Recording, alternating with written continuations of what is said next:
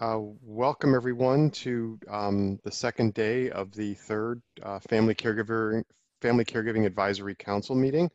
Um, I want to welcome everyone. Um, and before we get underway, I want to see if Lance Robertson um, is here and has any any remarks or words he'd like to say um, to all of us. Lance. Hey, Greg. Yes, I am here. And um, as always, appreciate an opportunity to say a few words and to just uh, continually thank the committee for the great work. And um, again, I can't express um, accurately just how grateful we are as your federal partner to really see this coming together. And I know yesterday was a good day. I got to hear all of Scott's uh, remarks. And again, we love the Hartford Foundation. They're such a fabulous partner. So, Scott, thank you. And again, my best to your leadership. And just uh, we always, always are grateful for the Hartford support. Um, most see it directly in this effort, but as I know, there's so many other tentacles of connection that are of high value. So thank you, Scott. I missed uh, Kitty and Dr. Uh, Nadesh because of another appointment, but I caught back up on the PowerPoint. Looked like some great information. And of course, capping off yesterday was Lynn with ARP, who has a tiny bit of experience on caregiving. Um, so I'm glad she was able to weigh in. Um, I'm kidding. We all we all know Lynn, and she has just been a master, a pillar at really helping um, um, provide great information. And again, I'm I'm thankful that she's part of this group. And of course, today's agenda is exciting as well. And I know Greg will go over that. Jill, we've all known for a long time the Arch, at the Arch, and um, just the great work that she's always been uh, doing and continues then to feed into our collective work. And then Joe and Scott doing some um, data analysis for us today, and then Greg's going to lead us again through the driver component. So, you know, another great afternoon. So thank you again for taking the time to be a part of this. Happy Thursday afternoon to all of you. I hope it's been a good day so far.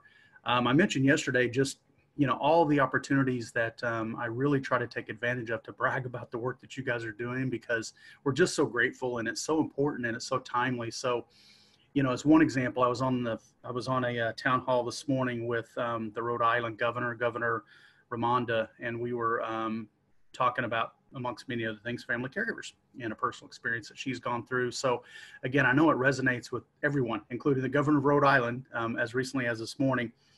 Um, you know, also, as I mentioned, or I think I referenced yesterday, you know, we have a weekly state unit on aging director call. So we gather the SUA state leaders across the country every week, every Wednesday. And if, if Greg's schedule permits over the next week or two, we're going to try to have Greg do a brief out on how things are going because that group is of course very interested. And we all know they're the ones that administer the um, caregiver program through the americans act. So those folks are also um, just very grateful for the work that we're doing. And we'll make sure that they have a nice update um, from greg himself in the very near future.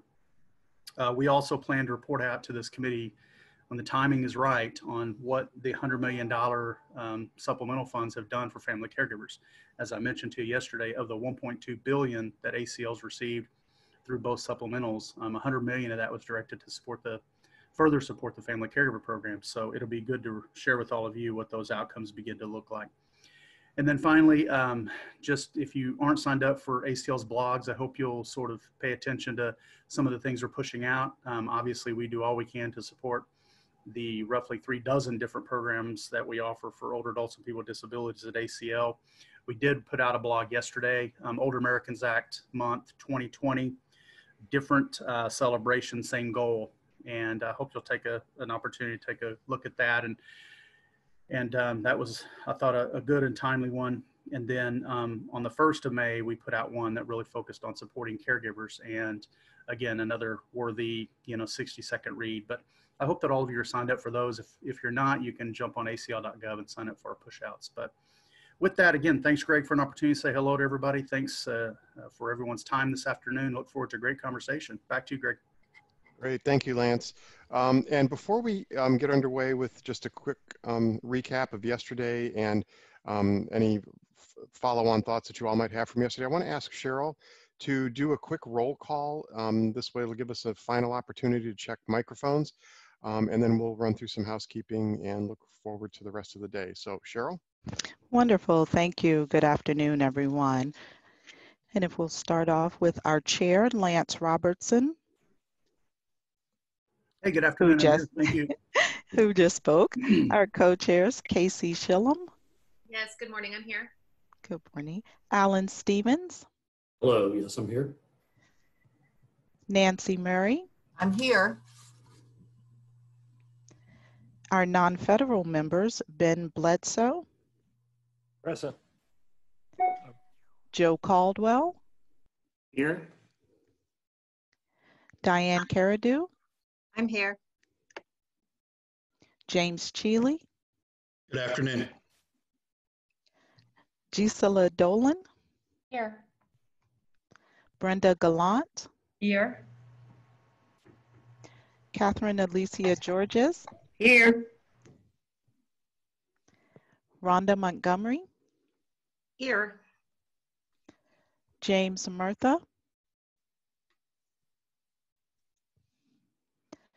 Deborah Stone Walls, Here. Teresa Tanus, Good day, everyone. Carol Zernial, Here. thank you. And then our federal members, Elizabeth Darling, or alternate Liliana Hernandez, Linda Davis,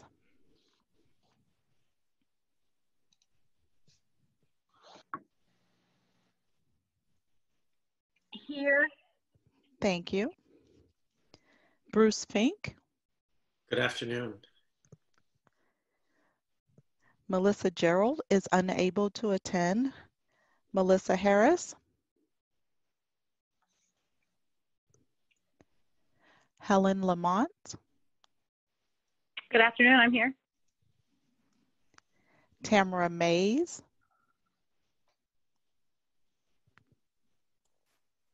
Lisa McGuire, Here. Jan Newsom,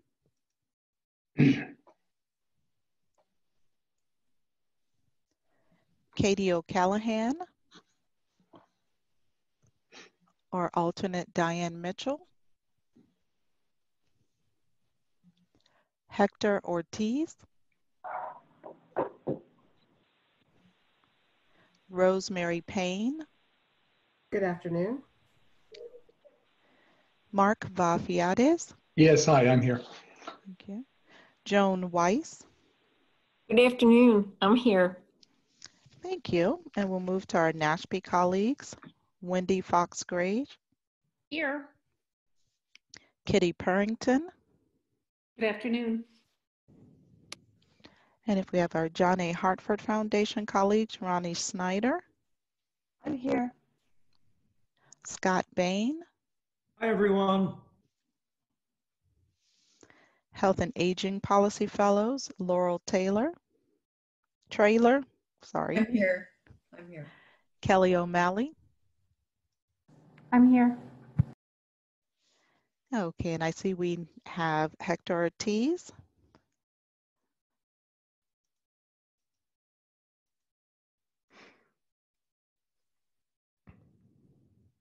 Hector Ortiz.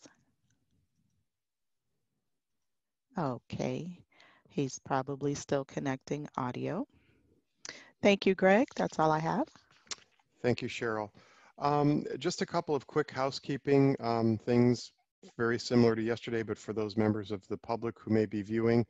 Um, for, for, for our council members, if you can and you want to, um, we'd love to see your face. So if you feel comfortable turning on your video, that would be great. Um, and then otherwise mute uh, your lines when you're not speaking. Um, the chat function um, is available uh, for members of the public to provide input. Um, this is really um, valuable information. It's not lost once the once the meeting ends. It's all captured, and we are able to see your thoughts um, real time as as they're happening. Although keep in mind that we may not be able to respond to everything. Um, yesterday we had a, a fairly good size audience from uh, members of the public on, and um, the, the comments were coming in very quickly, but they are captured, and the information is is is incredibly useful to us. So thank you. Um, we are going to be, we're, um, council members, we're going to have one poll later on um, in today's meeting, and that will be a poll that um, looks at what our the, the format of our future meetings will be like for the rest of this year, whether we're going to do full council meetings only or subcommittee meetings or a mix thereof. So as we're working through today, and as we see the progress that we make, um, we'll be giving some thought to that and um, and uh, we'll we'll come to a decision about how we proceed for the rest of the year. Um, we also, um, as with yesterday, we had a couple of really um, interesting presentations that were designed to provide council members with some deeper deeper dives on information that we're considering um, as far as the development of the national strategy um, and the um, initial report to Congress. We have two more really great, um, very rich discussions today. Um, as we're as we're listening to the two presentations today, give some thought to additional topics that you all would like to see or hear about um, in future meetings like this, um, because Wendy um, and her NASHP team and I um, are more than happy to, and we, we want to be able to, um, as, as, you all are doing your work and developing the national strategy and, and looking at recommendations to include in the report, we want you to have the most up-to-date information and the opportunity to really um, explore certain subject matters in more depth. And the way we can do that is in meetings and presentations like this. So as you think of other topics that you'd like to get more depth on, please be ready to discuss those towards the end of the day today, and of course, anytime um, after the meeting is over. Um, we have, uh, like I said, two really great presentations today, one on respite um, by um, Jill Kagan with the Arch National Respite Network and Resource Center. Um, and then later on, we're gonna delve into a bit of um, information on the current state of data gathering and research around family caregiving because that has been another topic um, that has come up frequently in subcommittee discussions um, as we think about what recommendations we may need to make and how that all fits into the development of the national strategy. And so we're very excited to have Dr. Scott Beach and um, the council's own Joe Caldwell um, providing some, uh, some background and opportunity for discussion on that. Um, does, does anyone have any questions or any follow-up information or ideas or thoughts from yesterday's discussion uh, before we turn it over to Jill? Okay, hearing none. We will have plenty of opportunity for discussion.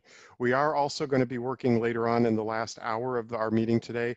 We're going to spend some time diving into the driver diagram. And so hopefully uh, you all weren't so um, exhausted from yesterday sitting in front of a computer screen for three hours that you couldn't spend a little more time looking at one and hopefully giving some thought to the driver diagram. So we are going to be um, diving into that um, at around um, 2.45 Eastern time. So um, with that, I'm going to turn the, the uh, floor over to Jill Kagan um, for who will lead us through a discussion on respite. So Jill. Thank you so much, Greg, and welcome. Um, good afternoon to everyone. I want to start out by thanking Administrator Robertson, the council, uh, Greg and Lori at ACL, and Wendy at NASHP for the great opportunity to be able to talk to you today about respite. Uh, ARCH has existed since 1990 as a national respite network and resource center. Uh, and since 2009, we've been very privileged to house the ACL-funded Lifespan Respite Technical uh, Assistance Center. And in, in this capacity, I'm really honored to be here uh, with you all today. And on behalf of the Respite Net Network, I want to say I'm very grateful uh, for the commitment and expertise you all bring uh, to this important uh, work. Uh, next slide, please. I want to start out by commending ACL and the Council for taking a serious lifespan approach uh, in your deliberations. Um, we certainly all acknowledge and are working towards serving uh, the hugely growing need among family caregivers of older adults uh, for support. But caregiving has been and remains uh, undeniably a lifespan issue. Uh, the Caregiving in the U.S. report uh, just released last week by the National Alliance for Caregiving and AARP uh, confirms that a majority of family caregivers are caring for someone between the ages of 18 and 75. Uh, and there are nearly 14 million children with special health care needs uh, who require a high level of care and are, are receiving that care from parents uh, or other relatives. Uh, what's noteworthy too is that increasingly many of those who are caring for children are also caring for an older adult uh, family member. And I just want to briefly mention that uh, the 1 million youth caregivers uh, who are out there caring for parents with chronic illnesses, siblings with disabilities, or even their grandparents. So needless to say, uh, we are extremely grateful for the Council's lifespan approach. Uh, next slide, please. Today, I'm going to start by defining respite so that we're all talking about the same thing.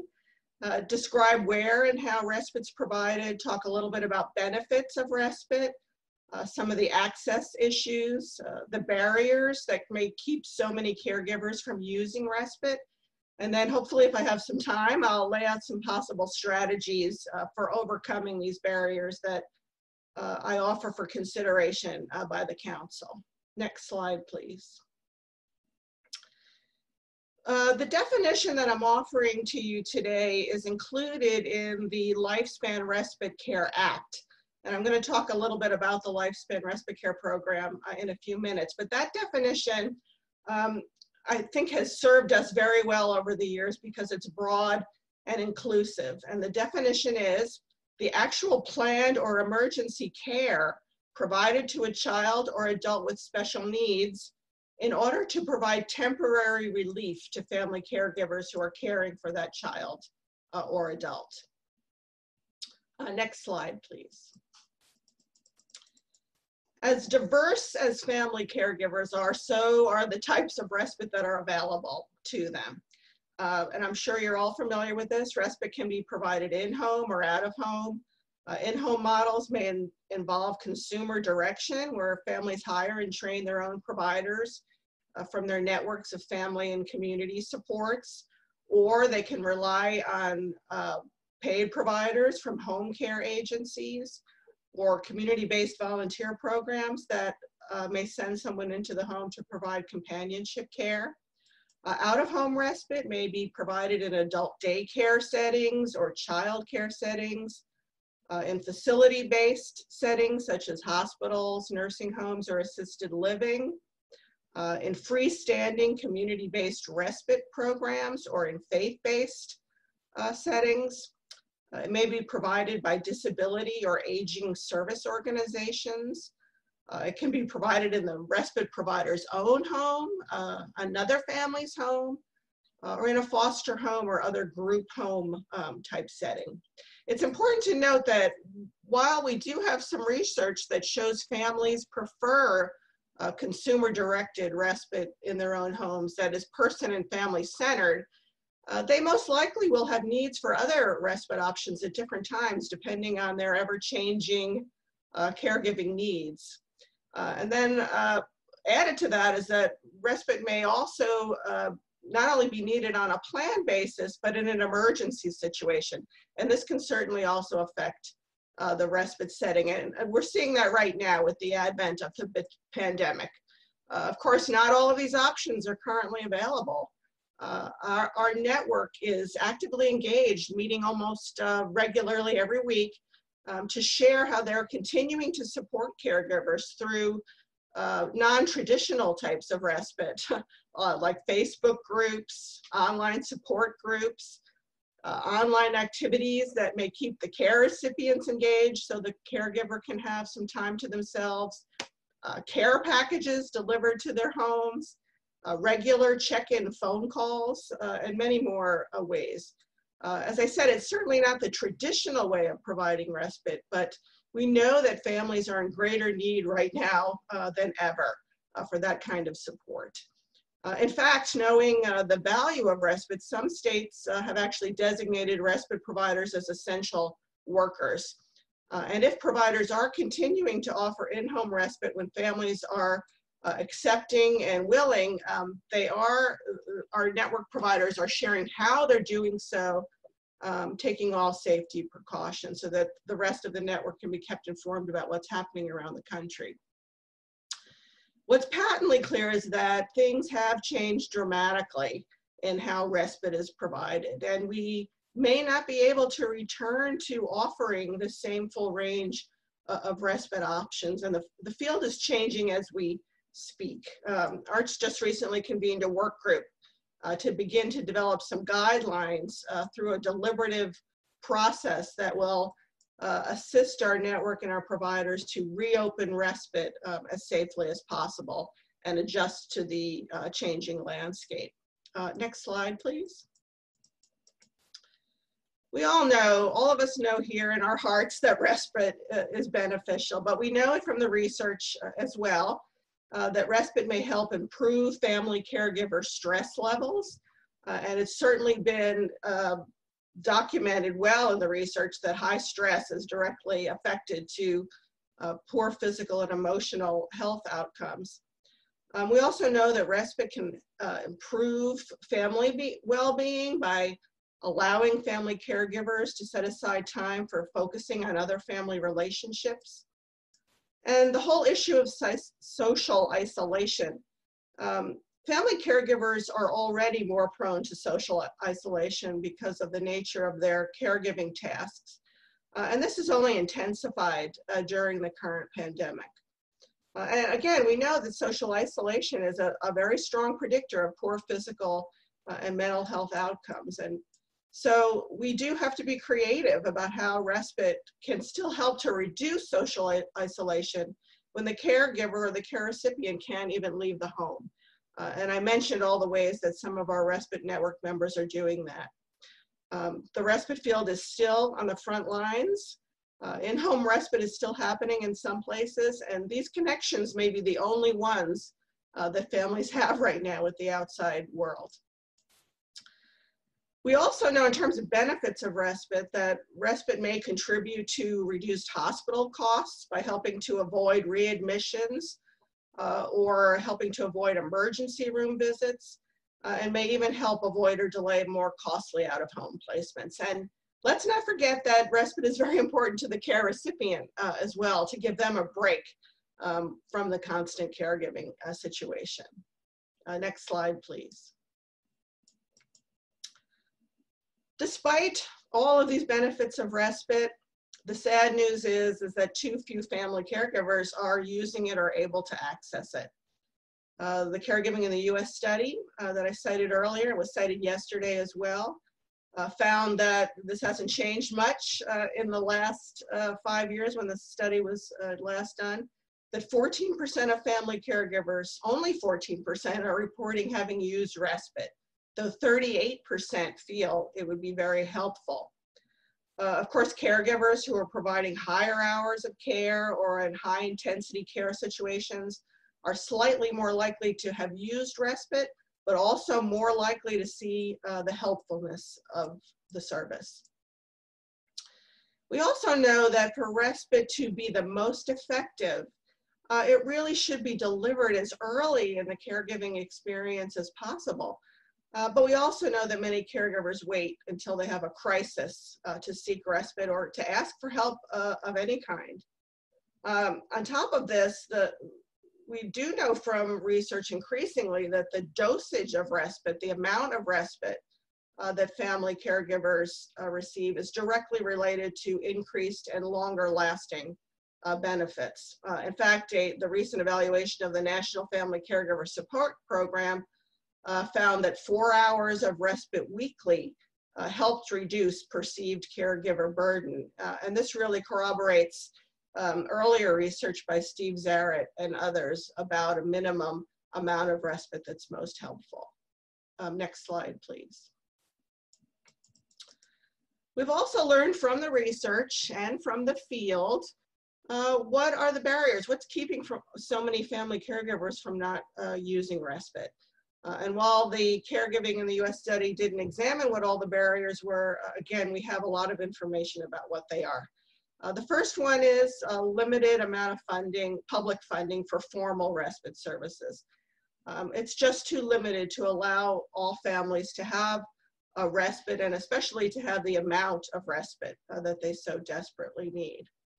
Uh, then there's also the personal cost.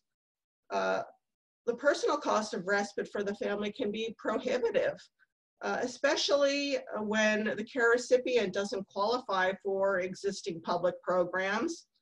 Uh, the family may be faced with high medical and daily living needs that are uh, consuming a, a significant portion of the family budget.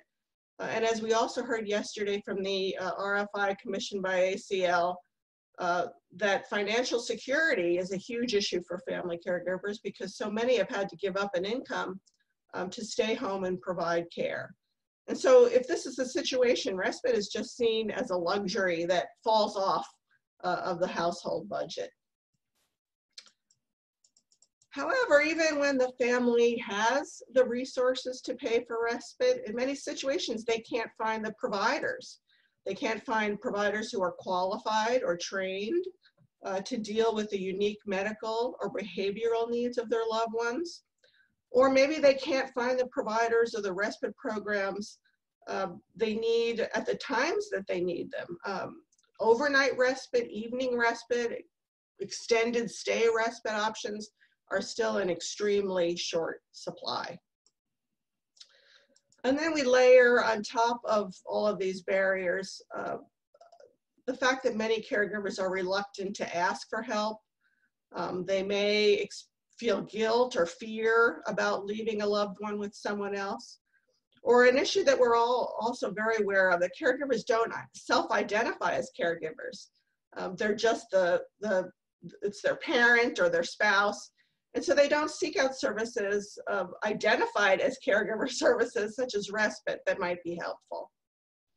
Uh, other access barriers can include a, a lack of information uh, about how or where to uh, get respite or uh, respite funding sources. Uh, and then transportation barriers, especially in rural areas um, that keep many family caregivers from being able to access respite. And then we have the multiple and siloed funding streams uh, with confusing and confusing eligibility and criteria that can really make it very difficult for family caregivers to navigate the system and figure out where to go. Next slide, please.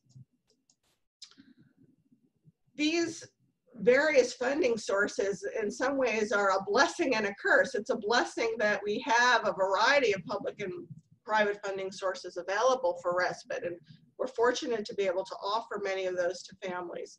But each one is riddled with restrictions or barriers uh, that may put them out of reach for many caregivers. Um, for example, um, Medicaid home and community-based waivers, which are the largest source of federal funding for respite, um, often have very strict eligibility criteria.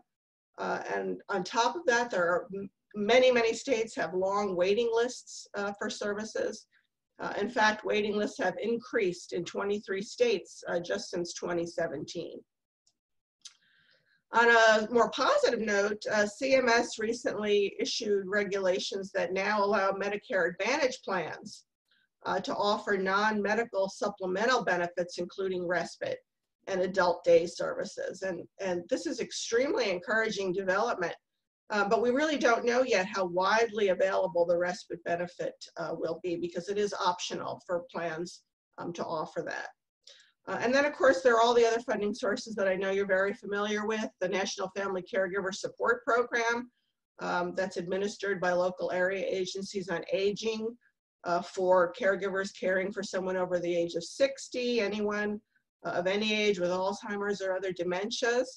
Uh, and now uh, parents who are caring for adult children with disabilities as well as grandparents caring for grandchildren. So over the years, the Family Caregiver Support Program has had a wider reach uh, and that's been extremely uh, welcomed by family caregivers. Um, the Veterans Administration, you're all very familiar with the, the Veterans Caregiver uh, Program. Um, which hopefully the VA will be able to roll out uh, to veterans from all eras uh, in the near future. There's state-funded respite programs. Many states for many years have had uh, state-funded respite programs for people with intellectual and developmental disabilities. Increasingly, states are instituting line items in their budget for respite for people with Alzheimer's. So um, there is state funding available as well, again, not uniformly available. Uh, and in the private sector, there are many disability and aging organizations um, that help families pay uh, for respite, like Easter Seals or um, the ARC or the Alzheimer's Association. So we're very grateful for the support that they provide uh, to their to their constituencies as well. And for the majority of family caregivers, there's always self-pay, if that's a possibility. Um, and for the small minority of individuals who have long-term care insurance, um, many insurance plans, uh, long-term care insurance plans will pay for respite as well. Uh, next slide, please. I wanted to just again, uh, without being too presumptuous, uh, lay out a few suggestions uh, for improving access to respite for council co consideration that I leave to you uh, for further discussion. Uh, next slide, please. I would uh, start off by offering examination of the federal lifespan respite care program as a model uh, for state adoption. Um, the federal lifespan respite program is unique from other federal caregiver initiatives in that it was designed specifically uh, to address all of the barriers that I talked about before, affordability, uh, provider access and capacity, all of those issues. Um, by helping states to build coordinated statewide respite systems uh, that serve all family caregivers across the age and disability spectrum. Next slide, please. The program is currently funded at just over $6 million, so it's a very small program. Uh, and this limited funding requires that ACL administer it through a competitive process um, to states. It is not available to states uh, on a formula grant. Not every state receives funding. Uh, in fact, since the program was first funded in 2009, uh, 37 states in DC uh, have received at, at least one grant. Um, and currently, uh, Lori can correct me if I'm wrong, but I, I think there are about 20 active uh, state grants. Um, states are required to engage in activities that address all four of these uh, required uses of funds that are displayed on the slide here, um, including uh, developing and enhancing a coordinated statewide system of respite, um, providing planned or emergency uh, services, and of course to deal with the provider shortage issue, uh, training and recruitment of providers and volunteers, and that's a critical piece of this. And then finally, providing information to caregivers about respite services and how to access them. Now, the this sounds very prescriptive, but in fact, there's a lot of flexibility in how states uh, can approach these. There are no requirements that states have to spend a specific percentage uh, on each of these activities. Um, so they are able to really focus in on where their states have demonstrated the greatest need. Uh, next slide, please. I would also like to um, lay out for you that lifespan respite grantees have really been serving, and I would say very successfully, uh, as a testing ground for strategies I know that you're thinking about to improve access and delivery of services. Uh, many grantees have already uh, developed statewide respite registries. Um, they've They've tested innovative uh, ways to connect families to respite services and funding sources, uh, some through their very important par partnerships in their state respite coalitions, or in partnership with aging and disability resource centers and no wrong door systems. Um, they've really worked hard at expanding respite capacity uh, through gap filling measures like funding volunteer and faith-based respite at the community level. Um, they are increasingly working with family caregivers to identify informal respite options uh, from their own networks of family, friends, and uh, perhaps integrated community supports. And then one way that uh, many of the grantees have been engaged is through respite voucher programs. I think there are 15 or 16 states that currently run uh, voucher programs. Um, they primarily target families who don't qualify for other public funding sources or where there's a particular need. Uh, and they're showing us all the, the tools and the ways to uh, deliver voucher respite services uh, in person and family centered ways. So we're, we're really excited to see about what states have been doing um, with consumer directed voucher programs. Uh, next slide, please. Well, I've already, uh, the first bullet on there, I've already discussed the value of encouraging the lifespan respite approach as a model uh, for states to emulate through statewide coordinated systems of respite. Um, some other publicly funded approaches might include improvements to uh, the Medicaid home and community-based services waivers. Uh, and I wouldn't have said that this was possible before, but uh, during the current pandemic, uh, temporary emergency changes to home and community-based waivers, um, primarily through Appendix K amendments to HC, HCBS waivers, uh, have been approved by C CMS that are supporting family caregivers, uh, including expanded respite hours, uh, expanded self-direction to include respite, uh, allowing payments to family members to provide in-home services, uh, including respite, um, and some expanded settings for respite as well. Um, so I would, I would think that if we could move in this direction uh, to make some or all of these flexibilities permanent, would certainly go a long way to serving those who are Medicaid eligible and rely on those waivers uh, for their respite services.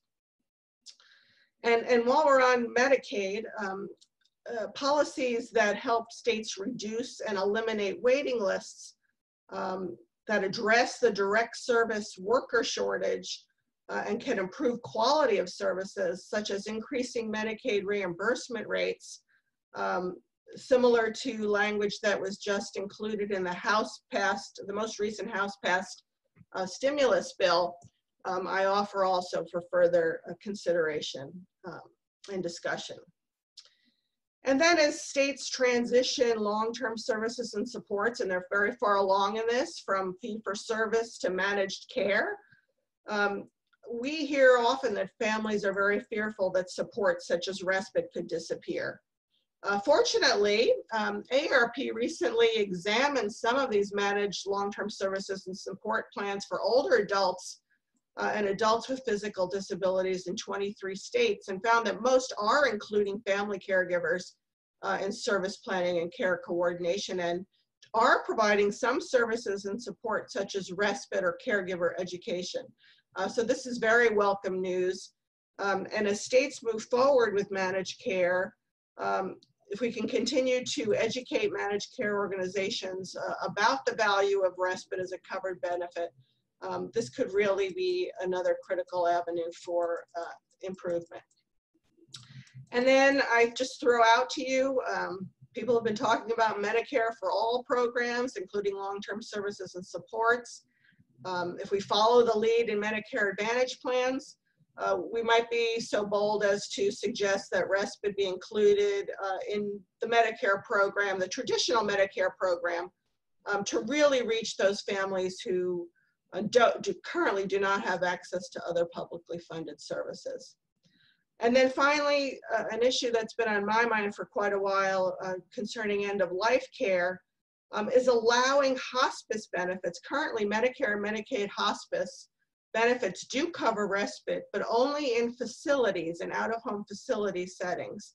And we hear from so many families, especially if they're receiving hospice services at home, uh, would prefer to also uh, have their respite provided at home um, in order for them to get a break so they wouldn't have to move their loved one out of home just to get a few days of uh, respite. Next slide, please. And then I wanted to just uh, conclude by talking a little bit about what the private sector can do. This is not all about uh, government spending for respite. Uh, it's, it's about partnerships that we can engage in. It's about working with families to uh, explore creative other ways of, of using informal uh, respite options. Um, but I, here are just a few other ideas um, that I wanted to share with you uh, I already mentioned that federal investments in addressing the direct care workforce uh, crisis are really critical, but we can look to a lot of community-based efforts to creatively recruit and train new respite providers and volunteers. Uh, for example, Lifespan Respite grantees or other state agencies have been working with community colleges or universities uh, to develop training and career ladders um, for uh, respite workers and other direct support workers that in the long term would um, help increase their value uh, to all of us uh, who, who rely on them so heavily. Um, or there are partnerships with universities uh, to use nursing students or students in other health professions to serve as respite workers or volunteers or um, complete their internship hours. And these have proved to be very stable uh, and long-lasting um, respite provider relationships as well and encourage uh, the, these students to move into the direct care workforce field. Uh, also in the private sector, if I may be so bold, uh, is to talk about private insurance plans um, and, and, educating them to uh, on the benefits of, red, of respite, uh, including the importance of respite to improving caregiver health and well-being and letting them know that respite can help reduce hospital readmissions and have other cost benefits. And so exploring incentives that could be provided for private insurers to offer respite as a covered benefit um, might be considered. Uh, at the same time, and uh, Lynn Friss Feinberg talked a lot about working caregivers yesterday uh, and their needs, especially given that more than 60% of family caregivers are, are in the workplace, um, that we should work with employers, educate them uh, and encourage them to offer respite services, or even just offer information about how to uh, access respite would be a huge um, a huge benefit. Uh, we're talking about large numbers of family caregivers who uh, we really have no other way of reaching them if, if they're care recipients or they themselves are not receiving public services. They are working and we could reach them through the workplace. Uh, and so the council might consider um, convening or recommending the convening of a roundtable uh, of business and health insurance leaders uh, to explore uh, opportunities to achieve some of these policy changes. Uh, and then finally, um, I want to leave you with uh, the importance of encouraging ways to strengthen the evidence base for respite.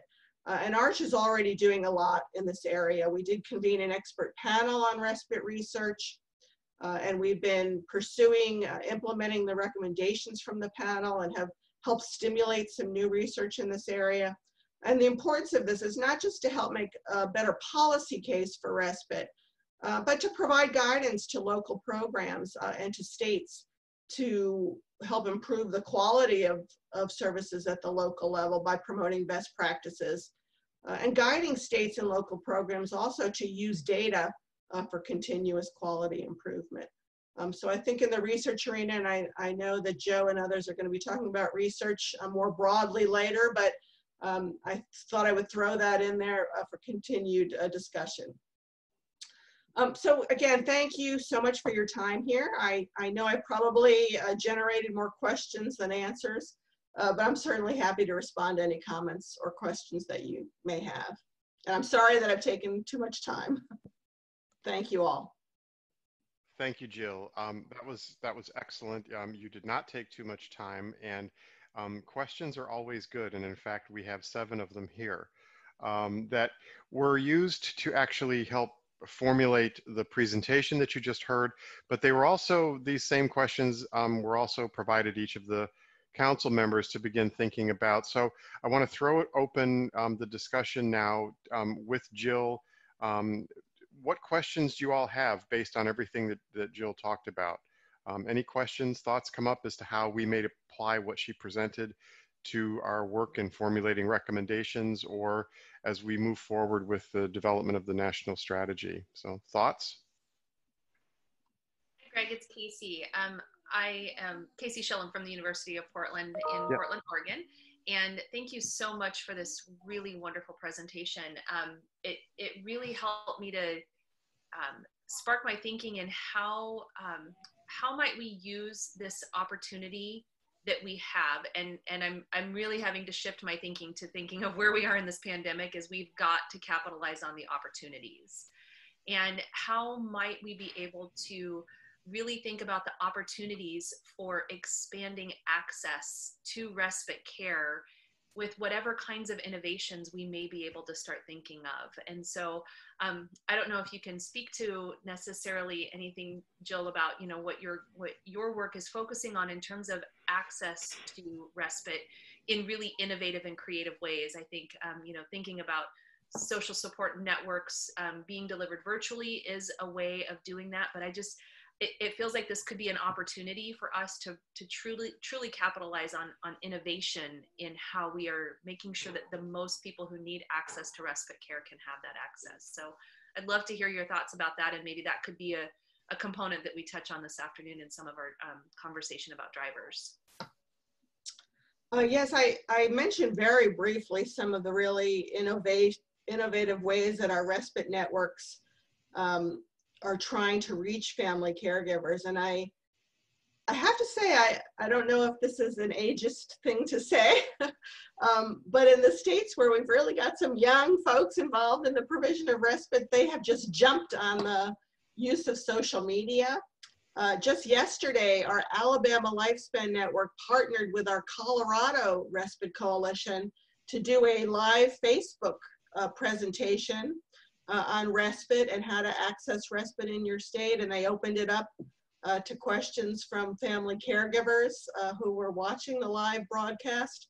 Um, and they're working on getting other of our coalitions to come together live on Facebook to offer that kind of information. Um, I know that all of our providers have been, uh, our network, our grantees, our state respite coalitions have been making phone calls to the family caregivers that they know of um, to check in with them and to see what it is that they might need uh, in terms of support. Um, providing, providing activities like bingo online to keep uh, care recipients engaged so the caregiver can get a break. But I totally agree. This is an opportunity for us now to really think creatively about what other strategies, what other services already exist in the community or exist online or exist virtually that we can engage uh, caregivers in using just to, to be able to step back uh, from their care stressful caregiving situation, even if it's only for 15 minutes or a half an hour and get and get that break.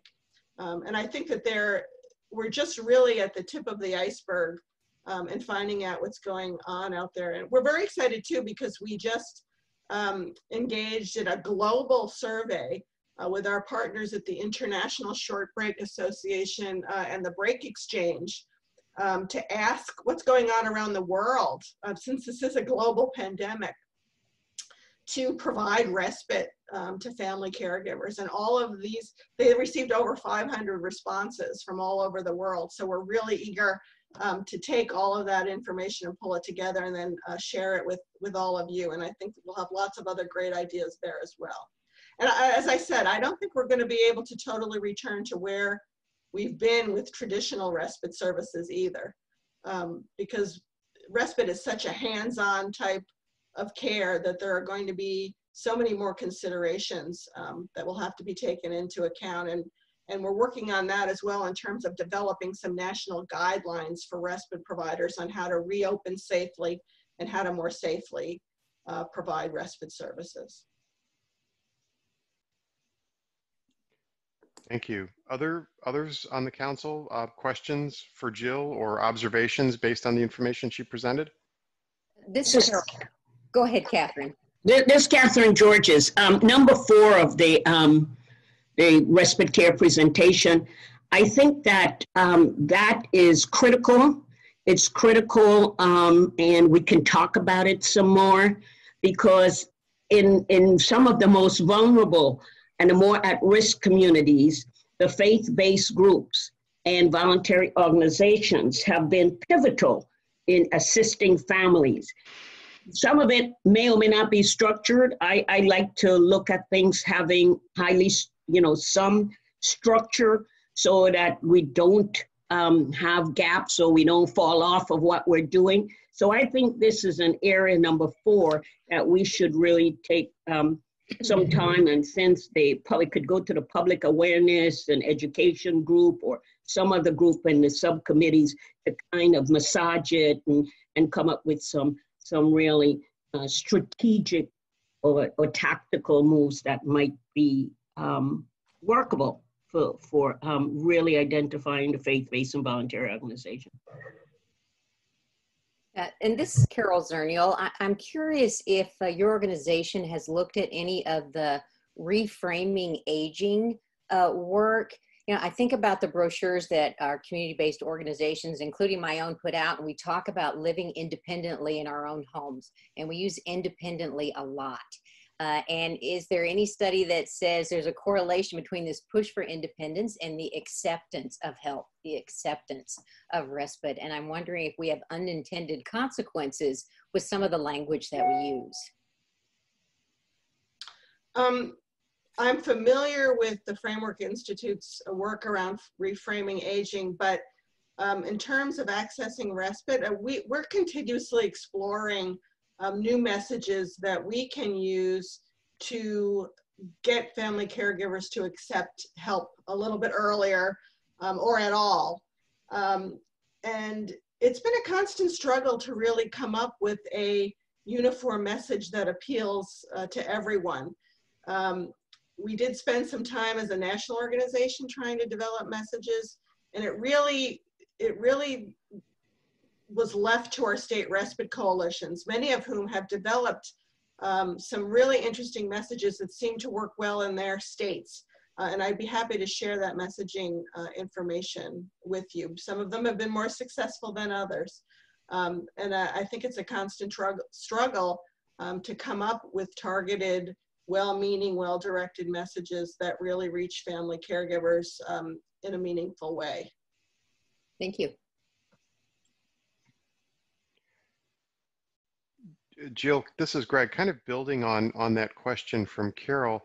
So if if it may if it might not be possible to craft a uni like a universal strategy or a universal communications and outreach messaging and strategy, would would there be some merit to perhaps thinking about how we support whether it's states or communities, um, local, you know, very local jurisdictions in crafting messaging around the particular characteristics of their particular populations, maybe not necessarily providing the message, but giving them the tools they need to craft that themselves? Is that something that could be considered? Oh, absolutely. Yeah, I think uh, that's what we've also been struggling to do because I think it it it takes some expertise that's a, a little bit beyond what we have in terms of understanding messaging and mm-hmm. public mm -hmm. relations. Mm -hmm. um, but I think uh, AARP, for example, has been very successful at working with the Ad Council to come up with um, universally, more broadly, universally available messaging um, for caregivers. But even there, um, targeting to uh, specific age groups or disability groups or um, the messages do have to be targeted. And I, I think we can offer some uh, technical assistance uh, or at least provide a direction that states can go in and, and some of the tools that they can use, um, as long as we lead them to the experts who can help them craft those messages. Great, thanks. Other questions for Jill or um, thoughts or reactions to the information that she shared with us? Uh, I would just like to, oops, I'm sorry. No, go ahead. This is Linda Davis um, from the VA. I would just like to um, reinforce the importance of um, messaging um, that you and Greg have just touched on. Um, it's um, beyond the scope of the task force, I think, to get into the details, but to set some principles that acknowledge that the audience is our is our uh, our caregivers, but also other stakeholders, as you've mentioned earlier, the employers, and that we have to make sure that um, we are reaching them with the right message in the right way at the right time. And so um, we, um, at the VA, while we send generic um, messages out through now our texting and emails to our customers, um, we're also looking at segmenting specifically down to the hospital level and other things that can make sure that it's a timely message that doesn't get lost in noise because there's nothing worse than those of us who want to compassionately deliver a service, um, finding out that no one on the other end is able to listen because it's gotten um, lost. And we know as caregivers, it's so hard to just keep track of the communications with the person right in front of us or those who have to help us navigate or our eligibility, etc. So I think we could craft some very good principles about how to communicate effectively, um, even if we're not able to get into specifics. Thank you. There was another comment. I think somebody Uh, else's. Yeah, it was me, uh, Diane Caradu. Um, Yeah. What caught my eye on these questions was the, uh, which would actually go along with Georgia's comments about the identifying the faith-based and volunteer organizations, was a statewide registry. With COVID-19, California developed for the essential workers a childcare registry. I haven't looked at it, but it, I mean, it was like overnight to have the information for the workers and having having been a caregiver um, uh, for a number of years you know your time is so precious and if you have to look in multiple places for different kinds of benefits you get very discouraged and you don't do it. If there was one place where all the information the volunteers the faith base the um, providers and and what kind of benefits could lead to it medicaid uh, medicare whichever ones it would be really helpful and maybe a caregiver would go there right away and see what kind of assistance would be available to them. Yeah, I think those states um, where, where they are partnering with their aging and disability resource centers or have um, no wrong door systems in place. Um, and very often those uh, involve very comprehensive um, online information, uh, online and phone um, assistance uh, for information referral for all types of long-term services and supports, regardless of the age or condition of the person in care. Um, if our lifespan grantees and respite coalitions have been able to feed into those, feed in their respite information into those larger systems, that's where they really have been the most uh, successful. And there are many states that do have online um, statewide, uh, it might be 211 services, um, but there might be something more specific to disability and aging uh, services, uh, information referral systems that are very well established and very far along now in many states. And the other issue that comes to mind too is, is cultural competence and how different cultures view the whole concept of family caregiving and how they, you know, perceive being supported through any type of service, including respite. And I'm wondering, what are what opportunities do we have in that regard to think about how we, whether we shape messaging or where the message come from? Maybe we, may, where it would come from. Perhaps we're not wanting to rely solely on the caregivers to self-identify, but maybe flipping it and having healthcare providers and others be more proactive in raising the issue um, in inappropriate ways. Thoughts on that, Jill and others? Almost certainly when I was talking about messaging earlier, it, it, you're absolutely right. It's not always just reaching the caregivers um, to put the burden on them to self-identify and find all the services. We really have to target messages to employers, to the healthcare profession, to everyone who comes in contact with family caregivers to understand um, what their needs might be. And know and it's not just about assessing the caregiver's needs. Once they're assessed um, whoever is in touch with that family caregiver needs to know how to hook them up uh, with those services in their communities so that's why the messaging can be so difficult because it has to be targeted to so many different um, audiences. Exactly this is Rosemary. From, uh, I was going to make a um, add on to what you mentioned about including um, the including the um, healthcare industry in the messaging. Um, I know it's been a couple years ago. The Joint Commission made it a part of discharge planning for any individual whether they actually have a psychiatric diagnosis or not, to have access to the suicide uh, helpline as a part of their discharge plans? And is it possible to have an 800 number for caregivers around respite care and other services that would be a central number that every individual that is discharged with a medical condition um, has access to that information within their discharge documentation as a referral source. Yeah, absolutely. In fact, some of our grantees and state respite coalitions um, in those states that have implemented the CARE Act, um, where some of that discharge planning um, is now required or involvement of family caregivers in discharge planning um, to make sure that the discharge planners have information about caregiver supports and respite um, that they can immediately hand over um, to the caregiver upon discharge.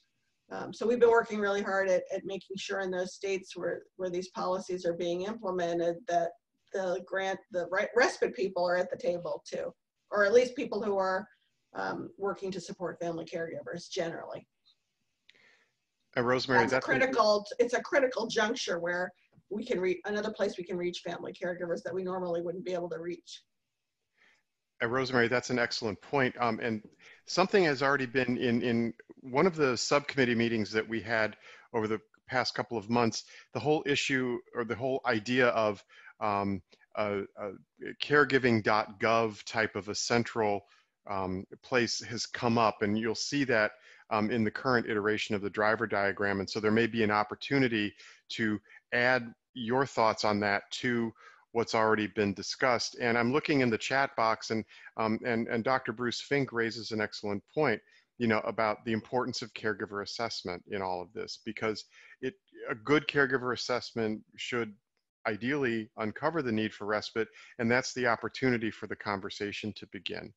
Um, and so I think that's important and that, you know, we are, we are gonna be looking very closely at the role of assessment and, and how that plays into, you know, the, being able to start the conversation.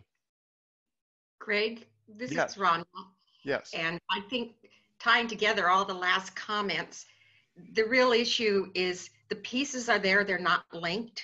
Mm-hmm. So you need the assessment, you need the databases that have accurate information, and you need the person doing the assessment helping the caregiver drawing on those resources and linking them. Mm-hmm. Caregivers, just the word respite, it, does, it, a caregiver coming into it doesn't even know what it is. And as I always remember, my long term colleague, Lisa Gwyther, always said, their first question is, I need a lady. But they don't know what that lady's supposed to do mm-hmm. or what's supposed to happen. And so it's, I think we have pieces, but they're not linked. Yeah. And that's what we really need to do. Great point. Great point. When we when we get later on today, um, as we begin working a little bit on the on the driver diagram, let's try to remember some of these concepts that we've thrown around here because this has been really fascinating, and let's be sure that we incorporate them and get them back down on paper. So um, I'll be relying on everyone who's raised these points to reiterate them again a little bit later on. Um, I want to be mindful. Yes. Oh, uh, Greg, this is Alan. I just had do we have time for one more question? Sure, sure. Um, uh, Jill, you mentioned towards the end of your presentation the need for more research uh, on respite care. And uh, again, being conscious of time, could, could you identify any specific area or topic within respite that you think we should focus on? And maybe even to be more specific, what are the variables or outcome measures of respite research should we include that are not only meaningful to the scientific community, but meaningful to policymakers and payers? Yeah, absolutely. Um, what the expert panel focused on really was research in the area of um, coming up with family caregiver outcomes primarily because respite is a service that may be provided to the care recipient, um, but the benefits really should accrue to the family caregiver. So we were looking for research that identified family caregiver outcomes uh, care recipient outcomes, and as you were saying, societal outcomes like cost, cost benefits. Um, we're now realizing also that what we need is some good implementation research uh, because we're starting to know what it is about respite um, that works and which are the innovative and exemplary uh, programs out there. Uh, and we just need uh, more information about how to implement those at the local level um, that ensures fidelity and ensures uh, that the, the quality components of the respite programs that we're talking about are being reproduced uh, in a way that is meaningful uh, when it, they're more broadly av available to caregivers in the community. So we're moving from outcome-based research to implementation research uh, that I think is going to be critical. Thank you. And I think that provides us with an ideal segue into the next portion of our agenda. And I, I believe, Jill, you're going to hang around for a while so that when we are discussing later on, if questions come up um, regarding respite and all things associated with it, that you'll still be available to answer some questions or Oh yeah, absolutely. I'm happy to. Wonderful, wonderful. Okay, so let's go ahead and move into the next portion of the agenda, which is um, a discussion about um, data and research. Um, and we've got, first up is Dr. Um, Scott Beach um, with the University of Pittsburgh. Um, and Dr. Beach, I'm gonna let you just do a brief inter um, introduction of yourself and then launch right into what you have to share with us. Okay, thank you. Uh, thanks for the opportunity to present. Um, I'm Scott, Scott, Beach from University of Pittsburgh. Um, I've been involved in uh, work on caregiving for many years. Uh, I have been uh, at uh, University Center for Social and Urban Research at Pitt. I worked with Dr. Rich Schulz, who's a big name in the caregiving field, who was headed up the um, National Academies report on caring uh, families caring for an aging America. So Rich has basically been a mentor and collaborated for many years.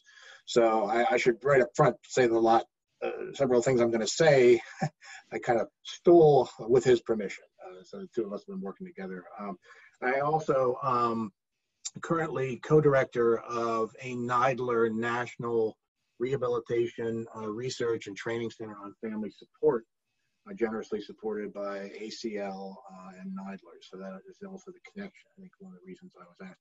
I'd actually thought that Joe was gonna go first, but it's fine. I think our stuff's complementary. Uh, Joe's gonna talk, Joe Caldwell is gonna talk about uh, survey data sets, and that's sort of near and dear to my heart. I've been, I'm doing some work on the NIDILRR grant related to analyzing secondary data sets, trying to pull out stuff around family caregiving and disability. But I'm happy to go first. I am going to talk, uh, next slide, please.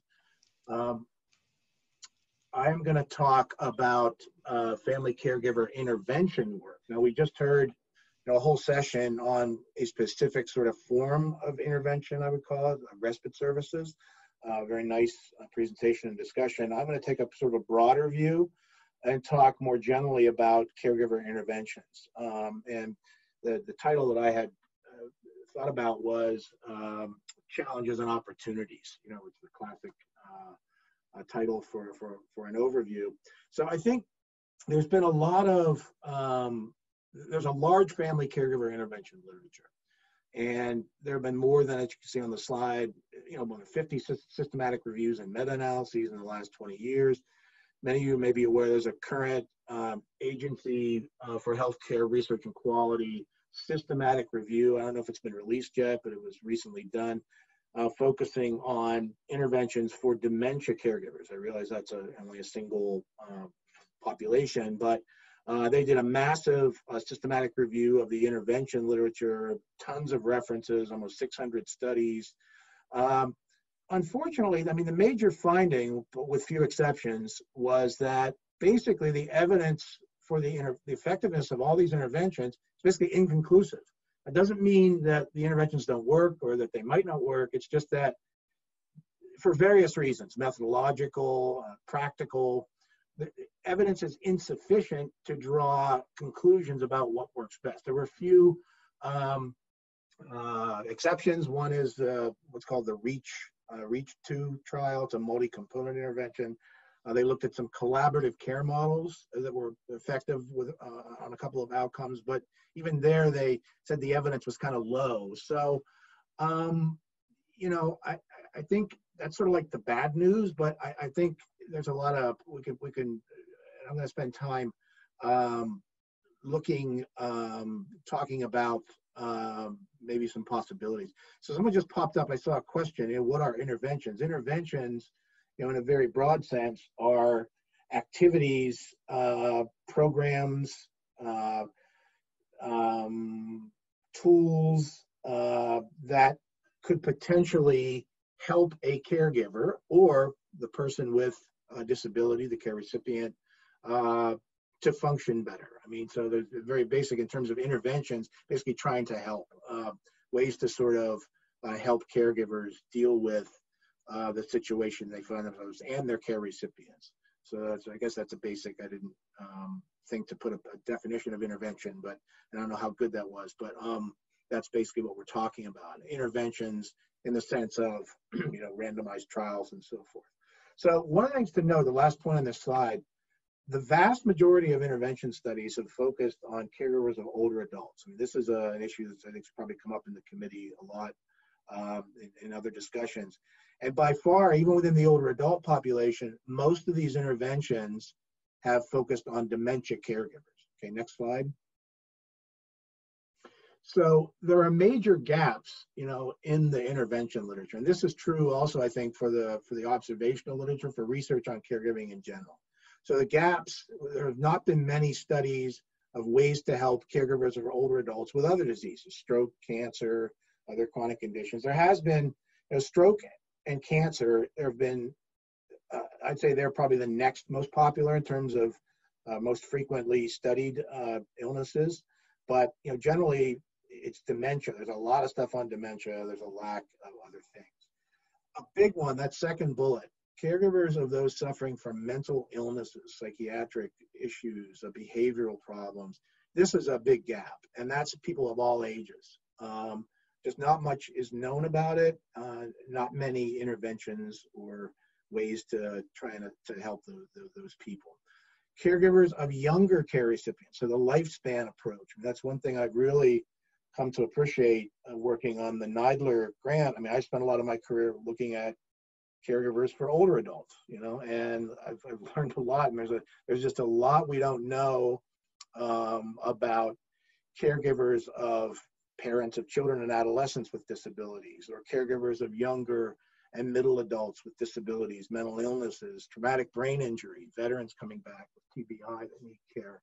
Um, and finally, eh, you know, underrepresented groups. We all know that there's been very little work on focused on, um, and it's true in the intervention literature, caregivers of minorities, rural caregivers is a big gap, uh, LGBT and so forth. So there's some, some major gaps, lots of focus on older adults and a lot of that on dementia caregiving. So next slide. Um, in terms of other gaps, um, this is more kind of in terms of outcomes and what people are looking at. I mean, we typically look at uh, when you do both either a study, an observational study, or an intervention, the outcomes you typically look at are psychosocial outcomes, depression, burden, quality of life. We we don't know a lot. There's some, but we don't know a lot on cost effectiveness, cost benefit uh, calculations in terms of caregiver interventions. And here we mean the economic cost of interventions relative to the outcomes. There's also sort of backing up into the research a little bit. Um, we don't know a whole lot about the economic impacts of caregiving. We know that, you know, caregiving can can certainly drain a family's uh, finances. Um, you know, we've done some work in our group of uh, some of my colleagues published a paper basically summarizing some of the literature on um, having a caregiver versus not and and how that impacts uh, costs of care, healthcare utilization. But it's sort of preliminary. There's not a lot out there on that. Um, and as we've heard, and we'll hear you, you probably hear repeatedly, and I'm going to touch more on this in a minute. That last bullet is uh, is huge. You know, intervention implementation barriers. You know, we we a lot of these like that review that AHRQ did. These are kind of randomized trials. They're done in they're not done in settings, social service, healthcare settings, sort of real world settings. So we really need to learn you know, uh, how to implement things that work, you know, and there's a lot of barriers to implementation. I'll, I'll get into some of those um, in, in. The next slide. So what we do know about interventions or effective interventions, we know that to be effective, really the ones that, that seem to work are multi-component interventions, and they address really two broad two broad categories. And this will be of no surprise to anyone here, but you need to sort of help. Caregivers need help with both the pragmatics of providing care. You know, this is where it's sort of knowledge about the illness, knowledge about symptoms, progression of the disease, knowledge about available support services. They need skills. They need to know what to do. You know, how do I actually help my care recipient? How do I assist? How do I change a, a wound dressing? How do I manage, uh, if in the case of a dementia patient, uh, problem behaviors? How do I access professional services that I need? So there's pragmatics. Then there's also a huge uh, issue around emotional, the emotional toll uh, of caregiving. Um, and this is simply the fact that it's very stressful to watch a loved one suffer, decline, um, with little or no ability to help or, or, or, feeling a little bit helpless. You know, you're watching, um, you're watching your loved one um, go through things that are difficult. And so interventions that help with both sort of the pragmatics and the emotional toll of caregiving, um, we think are probably most effective. And that's what some of the data shows. Um, so next slide. So this slide I don't have a title on it, but basically what the point of this slide, I think, number one, a couple of points here. So what this lists is a variety of the different types of interventions that are out there. And I know this is not comprehensive. Uh, we're probably missing some, uh, but you see that basically the way we've organized this slide, this again is Dr. Schulz's uh, slide, I borrowed it from him. One thing, it's very difficult to classify interventions. There's so many interventions. There's a lot of different approaches and coming up with a good classification scheme has been one of the challenges. But so the way we did it here, the way Dr. Schulz did this was um, kind of in terms of the balance of do they address the pragmatics versus the emotional toll. So let's go to the bottom first. I mean, I think so. Respite. I mean, he he classified that as more as pragmatics. I would kind of put it. I think it does both. It certainly gives people a break. But consultation, case management, training, advice, uh, family education, palliative care, collaborative care, skills, those things tend to um, address the pragmatics of the situation a little bit more, whereas things like uh, social support's fairly balanced, or a psychosocial intervention, cognitive behavior therapy, uh, teaching people how to think differently, mindfulness, meditation, spirituality, getting physical activity, those could be seen as uh, addressing more sort of helping people deal with emotions, the emotional part of, or the, the, the you know, the, the psychological aspects. But the point is that most interventions, and you notice the top one, multi-component, is sort of balanced. The notion is that you need to address, if you're really going to impact uh, um, the life of, in a positive way, of a caregiver, of the person they're taking care of, the family, society uh, more broadly, you sort of need to address both of these aspects. And I think one of the things that's happened in the, in the intervention literature is they've been so sort of focused and customized on specific parts of the of this continuum that the effects they're finding there's some benefit but they're not maybe as as great as they could be so um, next slide so moving forward so in terms of kind of where we might want to go with interventions more broadly you know, we, we do know we can understand and we can measure caregiver needs and challenges. There's lots of, you know, surveys out there that Joe will talk about. There's assessment tools. There's all kinds of tools we can use to um, understand and measure caregiver needs and challenges. Uh, we and therefore we can identify high need, high risk caregiver person with disability dyads. So we can find out, we can figure out if we do a good job on assessment, which was brought up in the last um, session. Um, we can understand, you know, who has the most need. We can create risk or need profiles that uh, reflect caregivers' multiple interrelated needs. And these things obviously are highly variable. They they vary across caregiving contexts, uh, across the lifespan, across the caregiving trajectory. Um, you know, it's complicated, but um, we can develop risk profiles that are more targeted um, that get at that particular caregiver and the dyad's needs.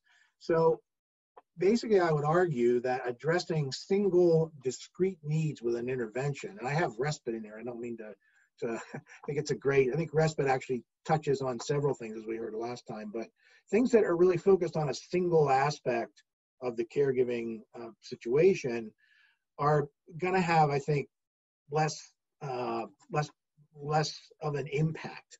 The scientific literature, you know, as the AHRQ uh, review shows, has basically evolved in this direction with basically, I don't know, poor results, but kind of, you know, insufficient. We're not sure yet. You know, using the traditional random RCT model has not worked too well because I think, you know, caregiving is such a complex situation. It's we all know that it it just can vary so much across caregivers. You know, depending on what what the situation is, who they're taking care of, demographics, uh, all kinds of contextual variables, type of disease, uh, ages, and so forth. So I would argue that logic dictates that multi-component interventions adjusted for individual needs, things like REACH, uh, REACH 1, REACH 2, uh, may be sort of the way to go. Okay, so next slide. So the idea is, and this may not be kind of rocket science, but I think it's important to, to make this clear. I think and again, I think the discussion on messaging in the last session about tailored messaging, I think the same thing applies for intervention approaches. You know, we need to be nimble and have tailored intervention approaches um, to be able to sort of call on a broad array of options, like the you know the, the slide that I showed a little while ago that listed some of the interventions. Um, and, and you know available options are designed defined by these existing intervention strategies. And I think the key is approaches that use multiple strategies, combining them in ways that address unique needs. So, you know, and of course, implementation research, you know, adapting these evidence-based intervention approaches to the unique needs of caregivers in real-world settings could be um, an efficient and impactful approach to advancing the science of caregiver interventions. Now, um, as we all know, implementation is, you know, there's an extreme need to get caregiver interventions you know, sort of out of the, the lab or out of the, you know, these more uh, structured settings and into uh, real world settings like social service and healthcare settings. And I think it's a good opportunity, this kind of an approach, to bring the caregiver into the mix. You know, the community-based participatory research idea, caregivers and their loved ones as stakeholders, let them help define what what their needs are and tailor interventions in that way. Okay, next slide. So to finish up, I mean, this is sort of like the last uh, slide. Um, I think what we're proposing, and again, this is uh, Rich Schulz's a key idea. I've added a few things here, but this pragmatic intervention implementation strategy, I think, is something that should be pursued, um, where you you optimize the capacity of service providers to deliver diverse components or intervention strategies of these multi-component interventions, right? So the, the, the, whoever whatever organization, they've got to be somewhat flexible and nimble in their ability to deliver various sort of aspects of intervention. You use risk appraisal tools to identify unique caregiver needs, both the pragmatics, the emotional toll that I talked about. And then you you you know you you dose you dose your intervention, both the the, the, the, the content of the intervention and the dosing to the risk profile and you basically have this unique combination of sort of tested strategies. I mean, I think, you know, we could keep doing large randomized trials of sort of specific types of things. I think that probably should continue. I do want to say that uh, in the in the AHRQ review, they did say that given all the recent um, emphasis at the federal level on dementia and pragmatic interventions, some of those more pragmatic trials that are doing some of this stuff, I think, have not been published yet. So things may be sort of on the upswing a little bit in terms of some of the data we get out in the next couple of years. There's been a lot of sort of good work that's being that's currently done. The results aren't out yet. Um, so that's one point. And the other point I wanted to make, I want to link this stuff to obviously the, the ACL funded uh, National Family Caregiver Support Program. I think this is an excellent opportunity. To, that is an excellent opportunity to implement or to at least try out this kind of an approach that I'm suggesting. Uh, of course, you need you know more funding, but to implement, test, refine these pragmatic uh, uh implementation strategies, you know, the evaluations of the um, NFCSP um, have shown that, first of all, relatively few caregivers, you know, are accessing this. I mean, I think they're reaching a good many caregivers with information, but actually provision of services is fairly low. One of the main things is that the state units on aging and the area agencies on aging, there's just a lack of coordination uh, for implementation, a lack of clarity about roles and so forth. So, um, you know, I think low awareness, uh, even among the agencies, that this stuff's available. Um, little monitoring of outcomes beyond, you know, uh, things like they, it did show an, an, increased confidence. Some of the programs have showed increased confidence, reduced burden, but lack of monitoring of physical and mental health of caregivers. But anyway, I think the, these, these publicly supported larger scale programs that pay for sort of interventions are a great way to sort of try and start implementing um, something like what I've suggested. So that's that's where I'll stop uh, let, let Joe. Great. Thank you so much. And we will we'll hear from Joe uh, Caldwell, and then we'll we'll open it up for discussion um, with the group. So, uh, Joe, I'm going to turn it over to you. Okay. Hello, everybody. Um, so I'm going to pick up where where Scott left off and talk a little bit more about um, collecting caregiver data um, and really really the need to do that at the national level. So if you go to the the next slide. So I'll just start out with kind of stating the obvious that that right now we really don't collect very much data and information about family caregivers. Really representative data or population data is hard hard to get um, on family caregivers. There's some sources that do exist, but um, but a lot of them don't cover the lifespan. Um, so some surveys only focus on caregivers of older adults or other surveys focus on uh, caregivers uh, of children with special health care needs. Um, another limitation is in a lot of the data sets, you can't really do state level analysis. So um, when we hear from like Lynn yesterday, when she's talking about the state innovation with, with paid leave or the CARES Act, it's hard to really get a handle on that because we don't have um, good caregiver data at the state level a lot of times. And then a lot of the data we collect, the sample sizes are kind of limited to really kind of be able to delve down into some populations like caregivers of people with developmental disabilities or caregivers of people with mental illness. So there's, you know, there's a lot of limitations in the data that we do have. And on the next couple slides, I'm gonna, um, I'm gonna start going into some of the surveys, but I wanna sort of um, share with the committee. I, th I, think it's important not to get lost in the individual surveys because it's a little bit like alphabet soup um, when you start talking about, you know, the BRFSS or the SIPP. I think the big takeaway from this whole presentation is really um, that right now, most national surveys, um, the health surveys and the Census Bureau surveys, do not include any questions that, um, that you know, get it family caregiving. So that's really the big takeaway. And as we, if we're in a committee gonna try to assess, you know, over time, if, if what our recommendations we come up with, if they have an impact, we really need better sources of data to be able to track that over time. So if we go to the next slide, I'll share some of the good news of, of what does exist. And this is not at all an, an exhaustive list, but these are these are the sources that I think um, I, I, see researchers using, I see policymakers, advocates really using. And the first one is uh, caregiving in the US, which a lot of people have referenced. And, you know, that really is the go-to source of, of information right now on family caregivers. And the good news is, you know, they just came out with their new report last week. Um, and this is something that's done by the National Alliance for Caregiving in partnership with AARP.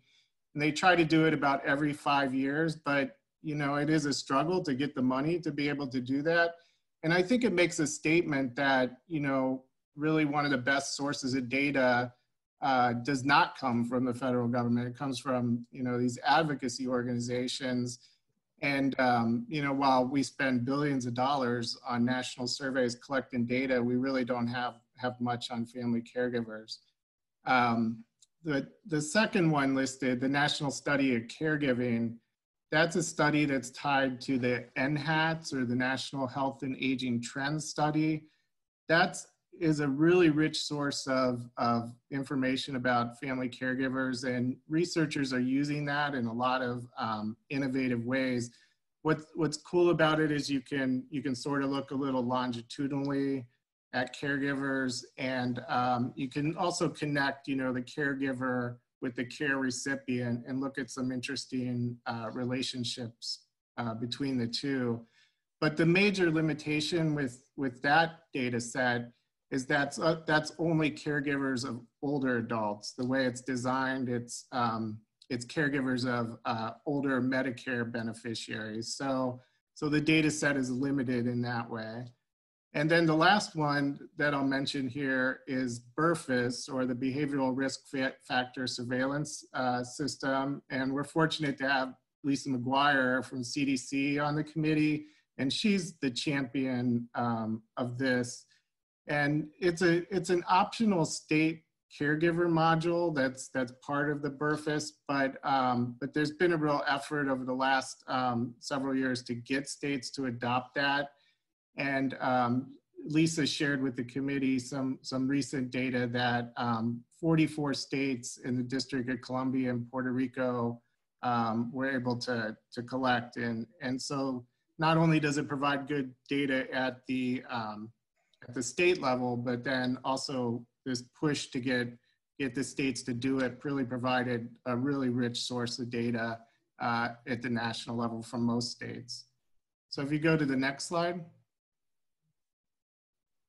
I'm not going to delve into a lot of detail here, but I did I did ask some other colleagues and researchers about you know other um, places of, of data, and there have been um, there have been these sporadic sort of um, uh, initiatives to try to collect better caregiver data.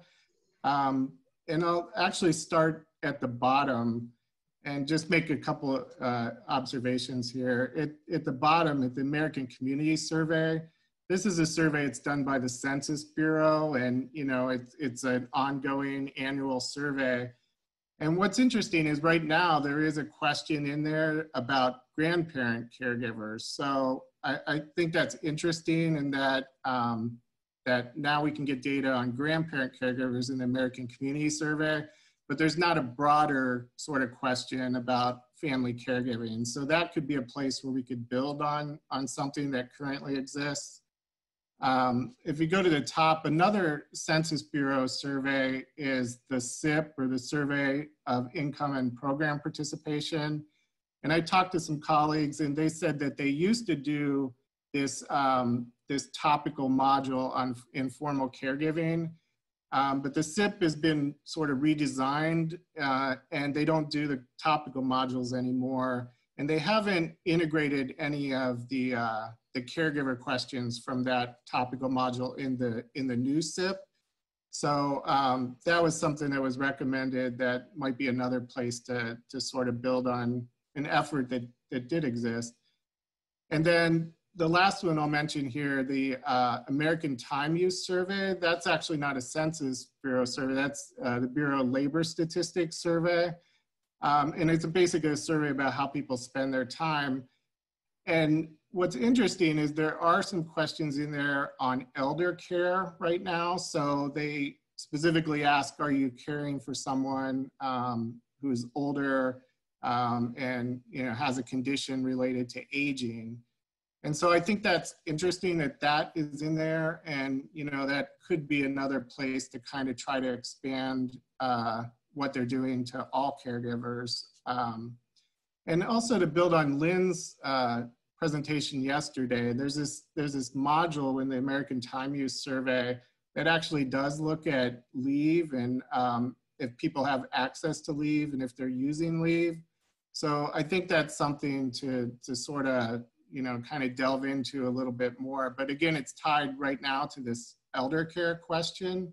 So, um, so that could be a place to kind of build on, on some things that exist.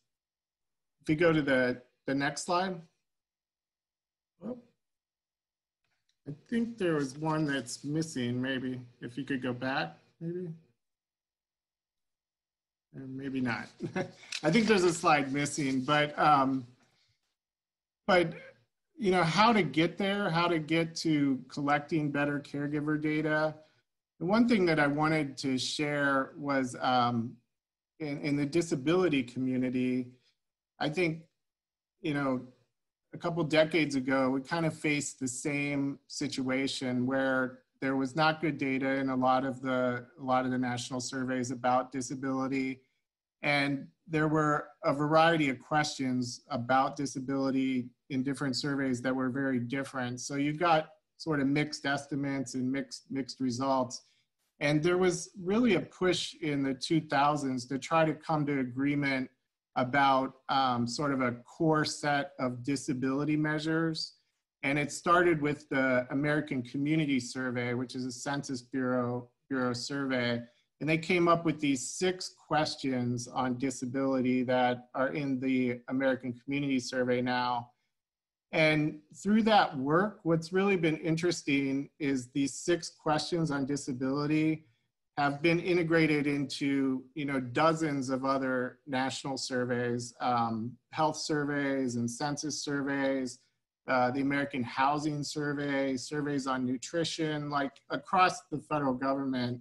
Um, these six questions have really been adopted.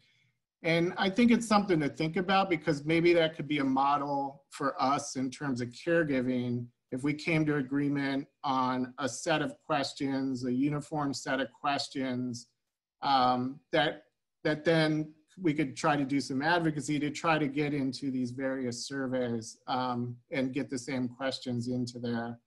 And so what might, you know, a core set or a uniform set of measures include? Well, I think, you know, it can include just some very basic stuff. I mean, number one, you got to identify if an individual is a family caregiver. And, um, you know, there's various like questions in surveys that do that to, to different degrees. And so coming to, to agreement on some questions that really, um, that really get to that question in the right way. And then in addition to that, you probably want some additional, you know, basic information about the caregiving situation. So who is the person caring for, the relationship, um, you know, the type of disability that the care recipient might have, and the level and duration of care, so number of hours a week or how long they've been a caregiver. In the research, those you know variables are, are really important in terms of uh, in terms of the supports that are needed and the outcomes uh, that uh, caregivers have. And then it'd be ideally great to know a little bit about what caregivers are doing, what types of tasks they are doing. So if we could come to agreement on sort of like a, a small set of, of, caregiver type questions that, um, that we'd want to try to get into surveys, I think that could be, you know, really useful. And personally, I think, you know, we already have really good starting points in the BRFSS questions and the caregiving in the US questions. I mean, they there's some subtle differences in, in the questions, but in general, they're pretty they're pretty similar questions that they're asking. I think you know those could be great starting points to try to come together um, around a core set. And I will say, just realistically, I don't think it's going to be feasible to get you know six questions into into all these surveys you know some surveys it's going to be really hard just to get one question added that might identify if someone you know is a family caregiver. If you go to the next slide. So then the you know the question comes up well what what surveys would you you know pick to add questions to? And it's a really tough question because you know, all these surveys exist because they get it different, they get at different things. I mean, some get it, you know, health and well-being, Whereas, you know, Bureau of Labor Statistics or census surveys might get more at the economic situation or employment of caregivers. So, you know, there's, there's various surveys. And then, and then in addition to that, you got to think about, um, you know, some surveys report annually, others, there might be a supplement, you know, every, every so many years. So the frequency of how, how often you might want data and the depth of, of the data, you know, um, you know, if there's optional modules um, that might be able to go into, into more greater depth. And then again, you know, some surveys you you get a national portrait, but then other surveys allow you to sort of get representative data at the state level, which is also important. If you go to the next slide. So these, again, it's kind of returning to the discussion before. I did ask people, you know, some colleagues, just, um, you know, if you could, if you could pick us your surveys, you know, you know, what, where, where would you want to, you know, get some caregiver questions added? And one of the, the most frequent ones that, that I uh, heard, and these were mainly disability researchers, but um, but they said the National Health Interview Survey, if you could get a question added to that that would identify family caregivers, that would give you a lot of information about, about health, employment. Um, the other was the, the current population survey, um, which is a census survey. And uh, they you know, again, like the disability community has used this one a lot in terms of um, in terms of uh, economic well-being and social well-being and employment status.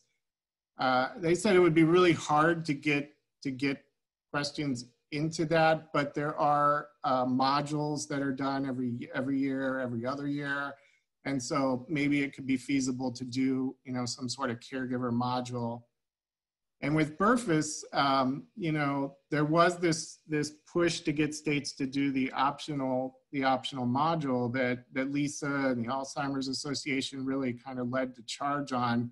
So could could there be a way to incentivize states to do that, um, you know, routinely every five years or so, or you know, could any of those caregiver questions be added to the core module, which is not optional? It's all states do that. Um, so that could be some, some avenues to go. And then the other two I did mention before, but you know, building on the grandparent caregiver question that's in the American Community Survey or the elder care question that's in the uh, American Time Use Survey. And if you go to the next slide. So this I wanted to throw in, this is completely shifting gears, but, but the other um, you know, the other place to get data is from, you know, the, the programs. And, you know, like Jill said, Medicaid is really important program in terms of uh, potentially funding respite um, and information services.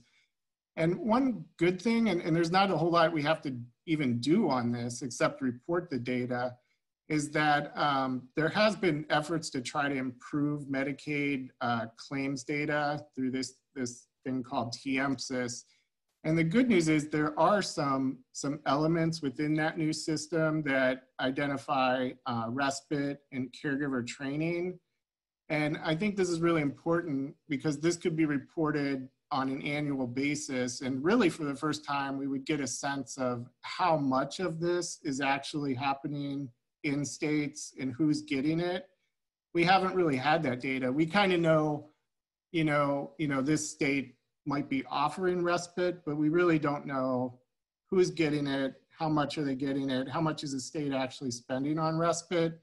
So if this data was reported annually, we could kind of get a sense of that and then track that over time and sort of use peer pressure too to try to get the states that are not doing it to do it, to be like other states. So, so I just wanted to, um, to, make, to make everybody aware of that. But I would just return to the big the big picture, the big take home home message is that you know there's really in a lot of these national surveys there's no questions right now on family caregiving. So you know if, as we as a council, if we can actually impact that, that you know would be a tremendous uh, accomplishment. And I think um, you know, really start to produce a lot of research, a lot of um, a lot of inquiry. Because if you get these questions in, it's kind of like if you build it, they will come. You know, researchers will look at this stuff in a lot of different ways. Um, but it's just a matter of trying to get caregivers recognized enough to be included, you know, as a population in these surveys. So I'll end it and turn it back to Greg. Well, thank you, Joe and Scott. That was incredibly, incredibly interesting and also um, surprisingly in depth for the little bit of time that we allotted allotted you guys. So thank you very much. And as council members will will recall, the during the um, March and April subcommittee meetings, the topic of data and research and the need for more and better and different and bringing it together came up repeatedly. And so I'd be very interested to hear from members of the council, you know, reactions um, to what you've just seen from both um, Scott and Joe, but also questions that you may have or thoughts that you may have for where we take this information. So I'll, I'll throw it open to the group.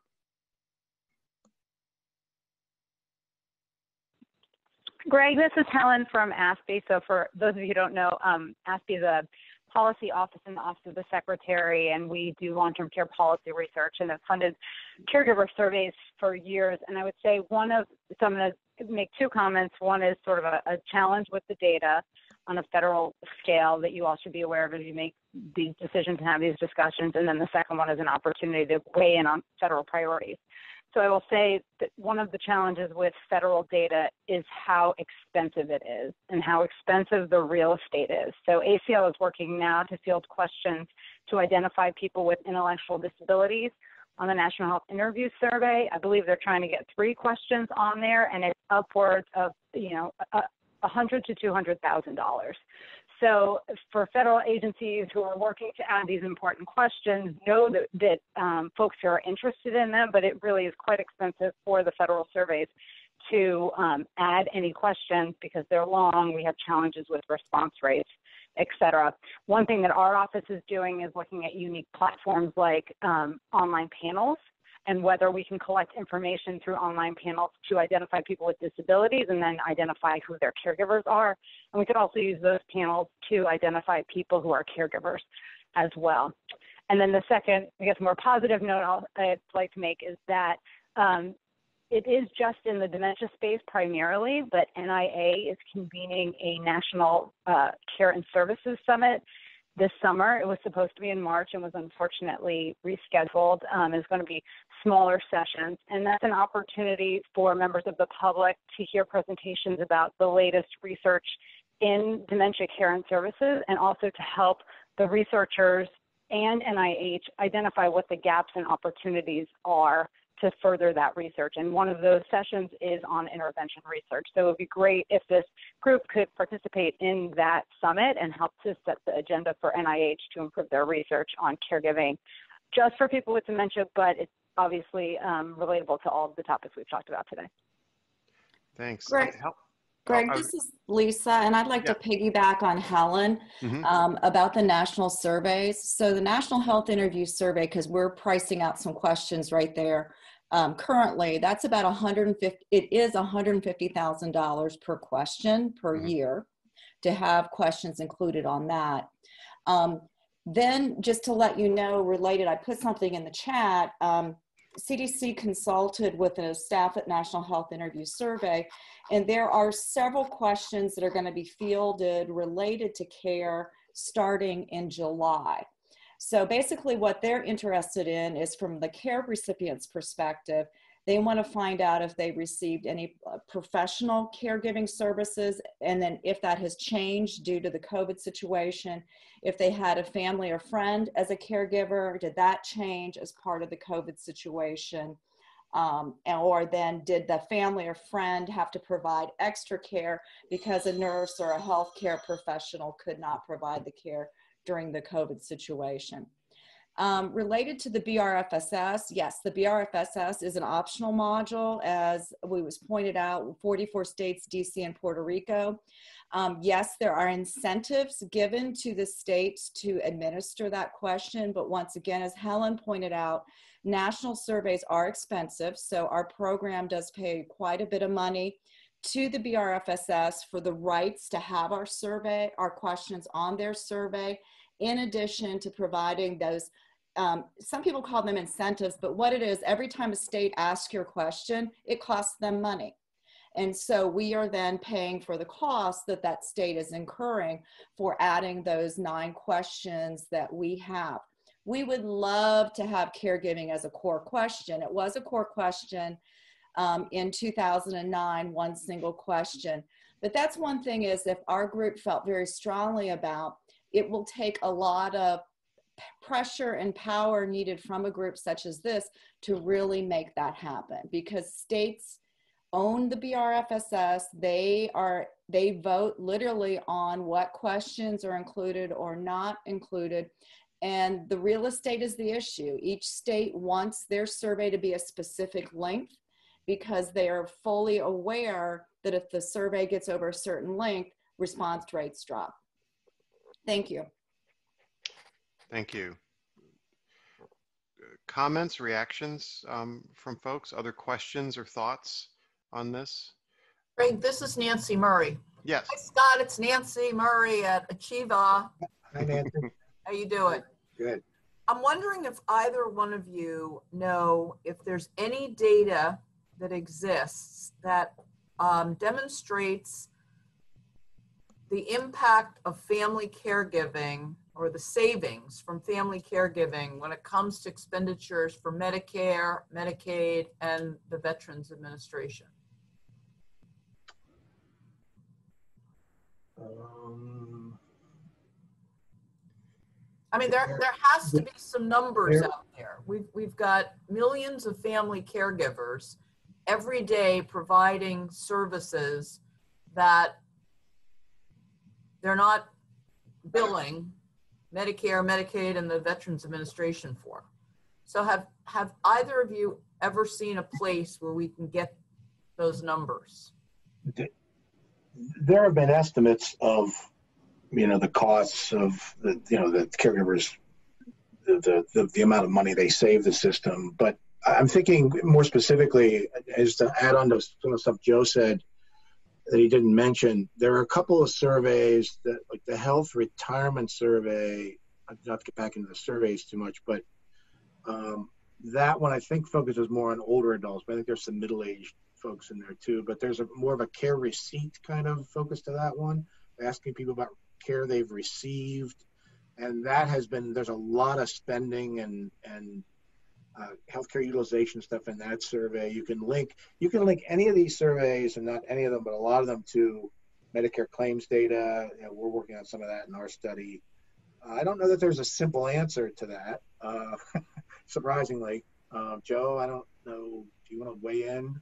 in no, I mean, I, I think I think it, the the stuff you're looking for, Nancy, is is very it's it's not there. I mean, I don't think you know, I haven't seen great studies on Medicaid and Medicare savings.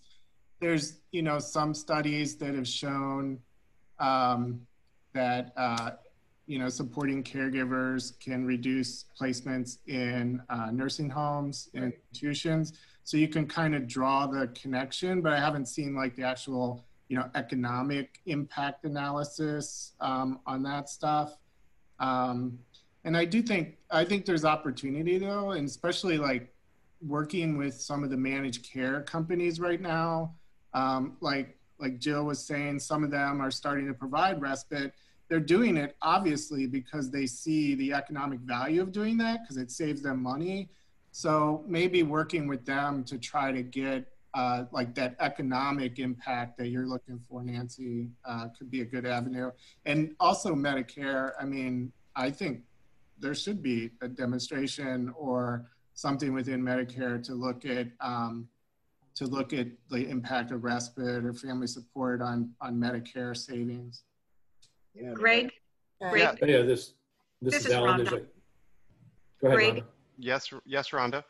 Yes, I'd like to speak to this.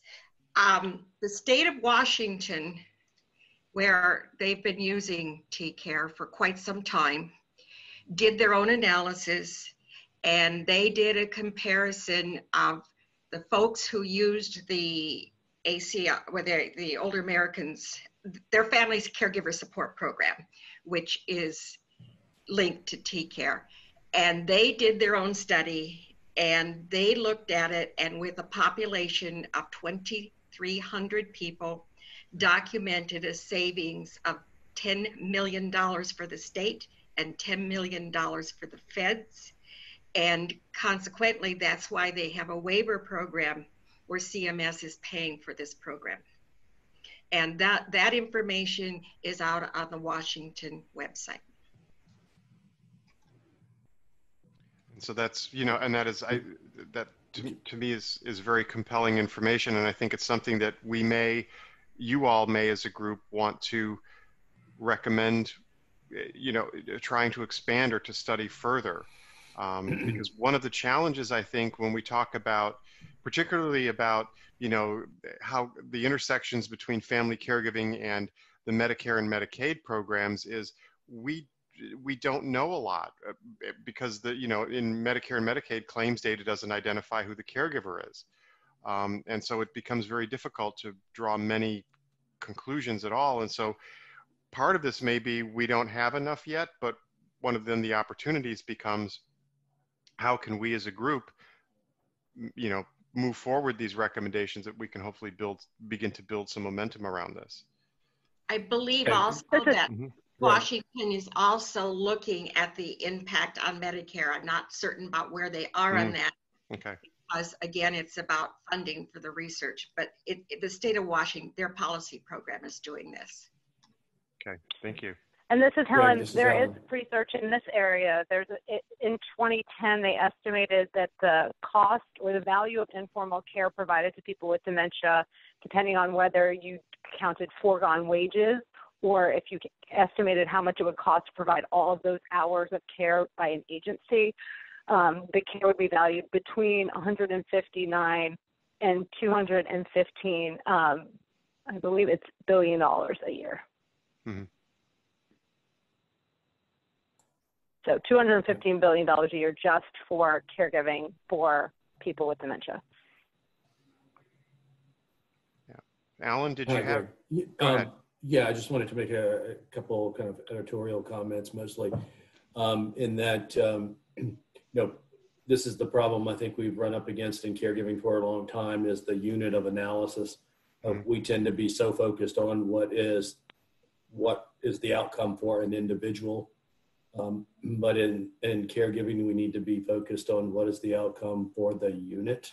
Mm-hmm. Um, so cost may be expended in a caregiver program, but the savings associated with a care recipient, um, I actually hate those terms, but that is the way our world has worked for a long time. Um, so I think there needs to be some kind of push to the movement of what is the unit of analysis that is important to the world of caregiving. Mm-hmm. It's a, di- directly linked to I think Grace posted in the comment book uh, comment box that you know that isn't associated in CMS data of who's the caregiver and who's the care recipient, uh, assuming that they're both in uh, a program. Um, you know, some effort, I think that's the first place we need to start of saying that's probably the easiest place or the, the, uh, the richest place to start of looking at trying to associate these uh, utilization data. It clearly that doesn't tell the whole story. It doesn't tell a lot about the emotional aspects of caregiving, but at least we start to build a case from the financial um, uh, aspects. Um, so uh, you know that is no no fault to anyone. Uh, you know, Scott and uh, many others have done great work in research in this area, um, but the field is is progressing here, and I think it's going to accelerate in an important way in how we start to do uh, uh, research in the area of caregiving. Um, uh, secondly, let me let me just say too uh, about the AHRQ uh, report about the efficacy of of, inter, of caregiving interventions. Um, Scott, I think you did a great job uh, describing that. It's it was a it's a it's a very well done report. um, and you reflected it well. With that said, I want to say that it is one data point in what we know about caregiving. Uh, and I posted in the in the blog uh, or in the uh, chat box um, a link to the evidence-based caregiving program that was sponsored by the John A. Hartford Foundation and done by Benjamin Rose that list a large number of evidence-based programs. Now, do they rise to the expectations of an AHRQ uh, uh, evidence base? Many of them, many of them do not. But they have shown value. And, and, and Rhonda's uh, comments earlier about how her programs have shown value not only in, in the original trials, but also in implement, statewide implementation uh, speak to that. And, and so just one last uh, comment here that uh, is again an editorial. I think when we when AHRQ commissions a report like they do, it is applying a medical model to a social issue. Caregiving is not a disease. It's not an illness. It is a it is a situational aspect of life. So, but when we put it into the arena of, of medical research, it gets medicalized in a way that I think distracts from us truly understanding how to research it, test it, understand the outcomes, and we lose that family centered approach that I think is so desperately needed for the field. Mm-hmm. So, uh, lots of preaching on my part, but y'all all know this is my this is my passion in life. So, thanks for tolerating me. No, if I could thank, go ahead. Can I respond to that a minute? Sure, sure. Um, thank you, uh, Ellen. Um, yes, I, I, it is true that you know with the TCARE process, we have looked first originally at the impact on caregivers. What the state has done is looked at the impact on the care receivers as they've done it, and that's what we need to do. But I wanted to make one other comment on what we're talking about, and I, I think that uh, I, don't, I don't know if it was Scott or Joe made this comment. I guess it was uh, Scott. But we really need to think about when we say we need data, we need to distinguish between what we need in terms of research purposes, in terms of documenting who's out there and all of the demographics. But we but that's distinct from what we need to look at the impact on specific caregivers, the clinical data. And I think we need to be really sure that we're paying attention to those two differences because research level data often doesn't really fit clinical needs. And so I, I, just want us to be very careful. You kind of sketched that out. I just want to make it very clear. We need to know which questions we're answering. Is it making a difference for the people? Or are we asking questions about who's out there and what are their needs? If I could jump in, I just want to respond to Alan's comments. And Alan, I could not agree with you more. I mean, you actually said it in a much more elegant way than I did in my slides. I think that's kind of what I was trying to say, that it's been medicalized a little bit. And that approach, you know, holding the caregiver interventions to these standards of randomized controlled trials, I think has led us down a pathway that may not be as fruitful. I mean, I think what the point is, is we know there's a lot of stuff that works. I mean, it may not reach the, the level of the evidence, but that's kind of what we're suggesting that you need to think about, you know, you know, assess the person, figure out what's going on, and tailor the intervention to those to the to those persons that person's needs. I mean, it's not. But I, yeah, I, I, exactly. I think the AHRQ thing is, you know, it's it's it's held to a it's the medical model, and I, I agree with you 100. percent It's it, caregiving is much more complex than that. You know, it's mm-hmm. we know that, um, every caregiving situation literally is different. It sounds cliche, but it's really true. I mean, even two people taking care of the same type of person with the same kind of basic condition, the situation is going to differ depending on various contextual things. So I, I, to, I want to echo what you said. Yeah. You said it in a way that I think it was clear, you know, your interpretation exactly kind of what we were trying to say. Well, thank you. But I mean, you, you, exactly framed the issue, and I think very importantly around this issue of risk and what is what is the family experiencing and what do they need. Um, and I, I, think you know, thank you for highlighting that so well because uh, you, you know, let me say, I've been part of the problem of saying we know what caregivers need and let's design these interventions from an academic perspective and, and test them. Um, and that's gotten us so far, but I, I think we're to the point where we now know there's this wide set of things that work.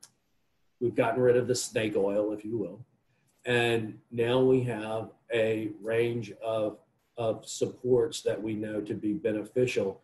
And it's time for us to engage the user to say, what is it that fits your needs? Not what are we going to prescribe but to you, but here's the things that we work that work and what is the person-centered way that you want to be uh, supported.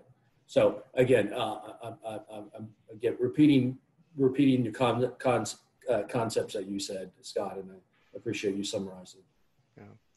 Thank you all. This is this has been a great discussion, and I think it, you know, it, it, it I think it bears mentioning that I don't think we're necessarily, I don't think believe we are trying to find a, a cure for, for caregiving. I don't think we would ever do that, but we could certainly adhere to, I think, the basic tenets of the RAISE Act, which is all about um, how do we recognize, um, assist, include, support, and engage. These are all very um, social type of uh, constructs. They're not medical in any way, but they're all about how we how we enable and support the caregiver within the system. How do we improve that system around the caregiver um, to make sure that they have what they need and their their voices are heard? And so I think um, this has just been an incredibly rich discussion. We've kind of gone a little bit over time, but I, I wanted to let this conversation go on because I realize the importance of data in what we do particularly you know in in in the public sector you know data is everything for us in terms of being able to measure the success of what we're doing the cost of what we're doing and the impacts that we're having. Um, but uh, we also i wanted to shift attention a little bit because we had provided the council members um, with a copy of the most recent um, iteration of the driver diagram that we have been working on.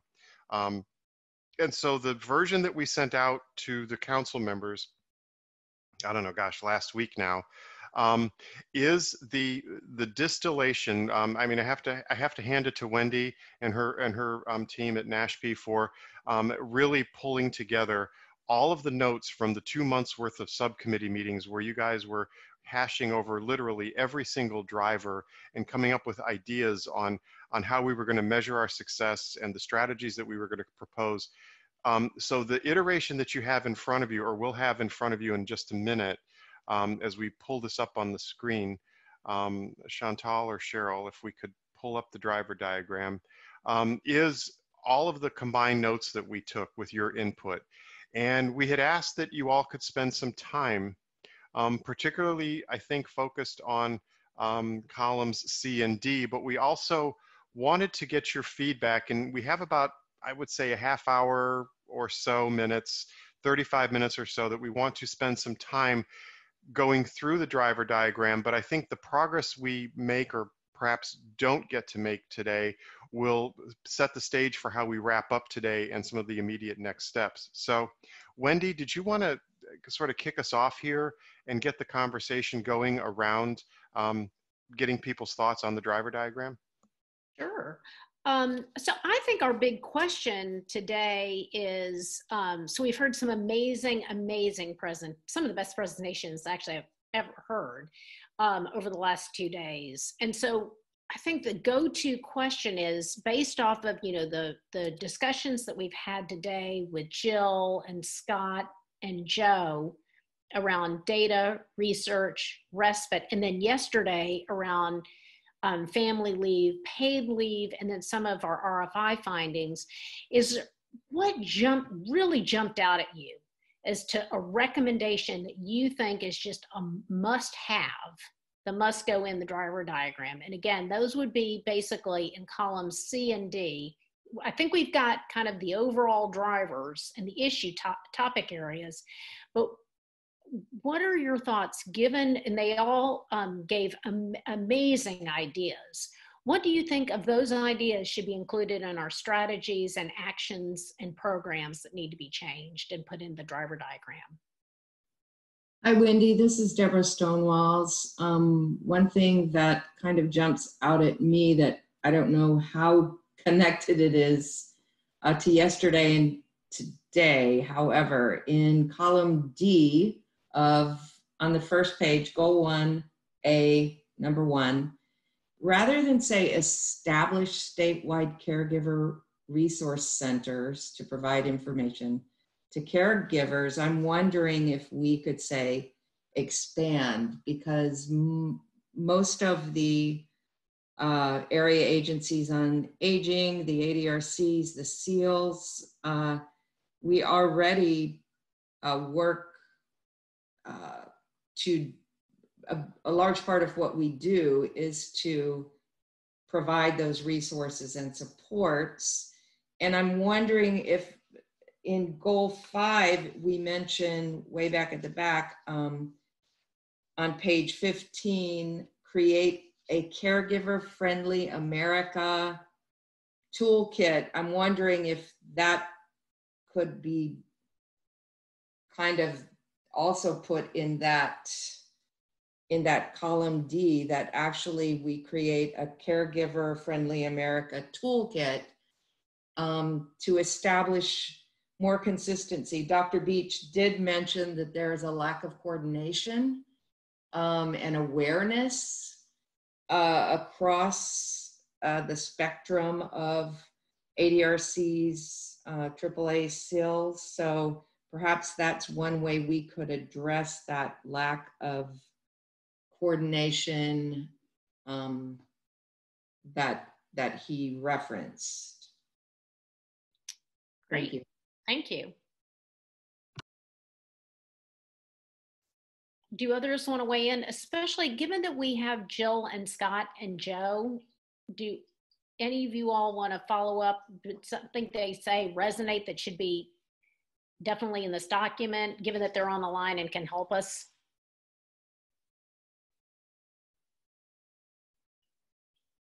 This is this is Casey. Rosemary. On the toolkits, um, is it possible to incorporate not only toolkits that are specifically for caregivers, but also for providers um, in the healthcare industry and other um, stakeholders that they could then provide or have education and information about what is readily available to caregivers? Because I don't think that information is really centralized as a nurse, a social worker, um, a psychologist, um, you know, someone in the emergency room, and you're discharging someone that, you know, there's the caregiver is going to be providing temporary services until they're connected with someone in their community that can provide additional support. Great, thank you. And I think there was somebody else who also wanted to make a comment. Yes, hi, this is Casey. And I was thinking about, I honestly hadn't even quite thought of it this way um, until Alan was raising his comments. Um, but I wonder if under um, goal one, number five, in a non-health issues um, where we discuss transportation, food insecurities, I just wonder if there might be some thought around how we could pull this um, really critically important concept of the family as the unit into that area of of our of our driver that um, you know and i would love to hear some thoughts from some of those who have contributed today about the the um, the non-health issues. I mean it's it, it's really it encompasses all of those things that we're talking about that we can't necessarily be focusing on just focusing on just one care recipient or one caregiver that this is a family unit impact. And i just wonder if there's space for us to really focus and hone in on that that really important of the work that i'm hoping that we can provide is that that might be a roadmap or a place for us to really call out that this is a, a, focus on the unit as a whole and not just an individual. Alan, I don't know what your thoughts are on that, or if um, you know, um, anyone else has um, things to contribute. But I just I wonder if that might be the place for that to to lie. This is Greg. It almost sounds, um, Casey, like you're. Uh, what I've often thought of and, and wished for was that anytime uh, there's an individual in the hospital, and again, I'm approaching this from the aging perspective. Um, because that's been my focus. But I would imagine that anyone um, who is in the hospital, I, at some point during that person's hospitalization, there ought to be the automatic question, you know, who or the assumption that because that person is there, there there must be somebody who will support them in some way. Mm-hmm. On you know, and so uh, I think looking for the assumption that there is going to be this dyad or this unit, this family unit that will need support. And then, you know, in the absence of that or ruling that out, then you know, well, okay, they, they don't have one or they don't they don't need a caregiver, they don't have a caregiver, but approaching it with the assumption that there is somebody that's going to need support. Yeah, and I think yeah, that's what we're missing here mm-hmm. is this mm-hmm. this mental model of what mm-hmm. it looks like for somebody to transition from one care setting to another mm-hmm.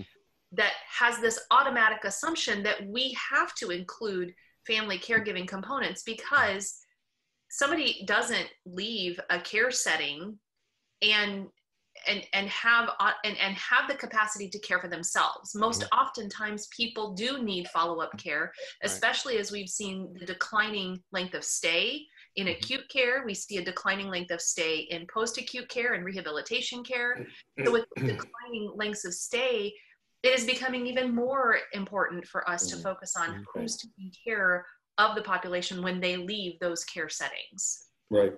It's right. like the evolution I, of the mindset almost. Yeah. And how do you bring about the evolution of the mindset? Mm-hmm. And over, and to some degree, overcome the current mindset, which is, and this is not original to me, but in healthcare settings, family caregivers are ignored until they're expected to do something. Mm-hmm. Um, and, and, that's all too all too often the reality of don't you know they're not needed during an inpatient care. They're only slowing things down, and now it's discharge time. Now let's bring in the family because we're going to expect them to do all of these things um, from point from this point on. Um, so that's or another point of a gift. Yeah, Alan, I think you're right. Or even worse, not even thinking about the fact that they need to reach out to family. So you know, I know that every person is being impacted in some way, shape, or form from what's happening with the pandemic. But just yesterday afternoon, when we concluded our call, I got onto a call with a colleague whose father has died from COVID, and his mother, who is 78 years old and was hospitalized for COVID, was discharged from the hospital with no follow up plan, none whatsoever. And so he had to travel from one state to another to pick up his mother because she called because you know they there was no coordination of any of this. So they happened they were there for his father, they were there as his mother was being discharged, but nobody included them. And so how is that happening? How is someone who is 78 years old being discharged from a hospital with a diagnosis of COVID 19 and not having any follow up care coordinated. I'm not to be a selfish plug here, but I'm doing some policy updates next week uh, for GSA. And one of them is on this topic of the waivers that have been put in place that have waived all of these uh, things that we have come, we have fought for, like care planning and all that. All of those are waived. Uh, and, and there are massive gaps in how those things are being interpreted. So yes, they were done with the right intent, but in many cases, I think they do are not in the best interest of the care uh, of, of patients, particularly those going between hospital and nursing homes.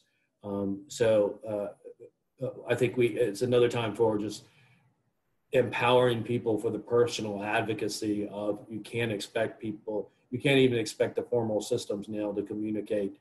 Mm-hmm. Um, uh, you, you as a family are going to have to be the ones that take this up. Um, just again, another editorial. To jump in and just make a comment. This this uh, discussion is uh, very. I've heard this many, many times, I've thought about it. I think another opportunity is this group itself, this, this new legislation. I mean, policymakers are waking up, you know, they're realizing that caregivers are, are important, they're, they're crucial to the system. And so the RAISE Act, obviously, what you guys are working on. But before that, the CARE Act, caregiver advise, record, and enable. And they're having trouble even advising and recording. It's the enable part that I think we really need to, the, the, what, what that means is they're supposed to get, caregivers are supposed to get information on how to provide care, training. Of course, there's no, there's no guidance on how that's being done, but I know that there's lots of AARP and some groups are looking at how the CARE Act is being implemented. I mean, I'll just raise that as another possible avenue, um, you know, for for looking into this. But you know, at least it's there's some acknowledgement, right? So, um, but that enable part, enabling a caregiver to actually do what's needed once they leave that that hospital or well, it's a challenge. It's a big challenge. But anyway, so but there's you know the fact that the fact that um, some legislation has been enacted in the last five years is it, it, it, it's the bright side, but the work, you know, we need to continue the work. So. Um, this is Wendy. So uh, one of the things, Scott, that I thought you brought up, which was which was great, was could we try to pilot some of these things? So you gave as an example from the National um, Family Caregiver Support Program. Could we pilot um, some of the intervention research to to see how that works. Uh, Jill, you kind of talked about, well, can we try, can we try some things? And I know we have a, num- a number of federal members on this council. I mean, is, are there some kind of, because um, I know this council wants to go bold, but at the same time, we also want to have short term, medium term, and then long term kind of solutions. Are there some things that we could try to sort of right off the bat that would move the field forward in terms of of, of pilots with, with things that already exist. Wendy, this is Nancy Murray. One thing that I thought about this afternoon, I forget who was speaking at the time, but in terms of working with um, Medicaid, Medicare, MCO, um, maybe working with them to pilot the idea of service navigation for family caregivers. Um, I mean, obviously, you know, my area of expertise is with people with disabilities. And, um, you know, a family caregiver is now, you know, expected to go home with an adult person with a disability. And you're all of a sudden, you're supposed to be experts in, you know, insurance and transportation and housing and assistive technology and Medicaid waiver services.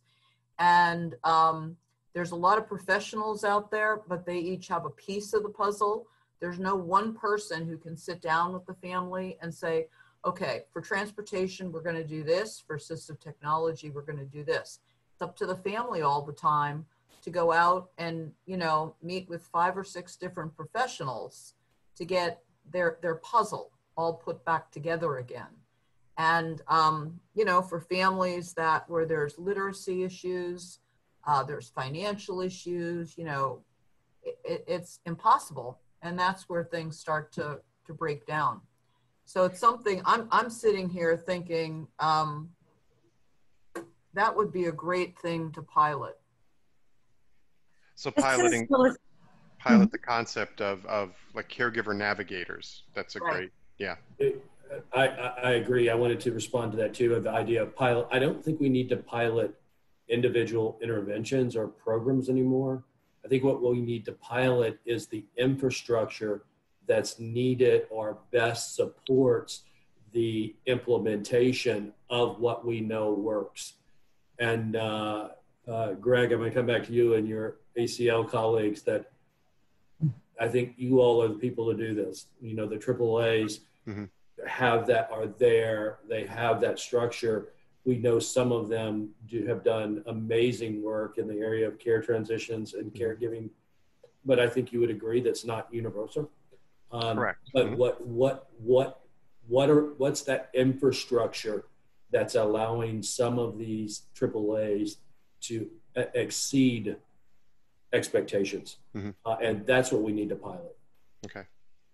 Great this point. is Melissa Gerald from National Institute on Aging, and we are currently supporting some. We have some pragmatic trials. We've got some patient navigation types of trials that were ongoing, and some that have just recently um, been completed. So we hope to know something about that.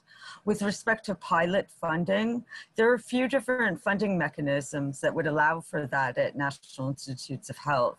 Um, one of them is you can tag on a pilot, for example, to an existing funding grant in the area of Alzheimer's disease and related dementia caregiving. This is a big area for us. And so these are rapid ways of actually getting some studies done in that area. So we talk a lot about Alzheimer's these days. And so anything that I'm mentioning would be with respect to that. We have funding programs that have uh, two-year programs, five-year programs, and so these thi- these things exist. And to Scott's point um, earlier with his fantastic talk, we're incredibly attentive right now to the AHRQ report. That was uh, very discouraging and really a road. It's going to be our roadmap basically for how we wish to implement them because we want them to work for everybody and to know why and you won't know why unless we know how they're operating and to have an understanding of the mechanisms so thank you Thank you, Melissa. Uh, other thoughts? I mean, we're, we're, you know, we, we've got a pretty good discussion going here, but as, as others have looked at, at where, the, at the progress we've made, um, you know, for example, we're, we're a little bit thin in column D in a lot of places, you know, are there specific actions or programs or things that we could, that, that we could propose as part of the strategy or as a broader recommendation that based on anything that we've discussed, whether over the past two days or in your subcommittee meetings um, to date, things that you would like to see suggested or included, I think we're, you know, we, we want to throw this open as, as broadly as possible and consider everything.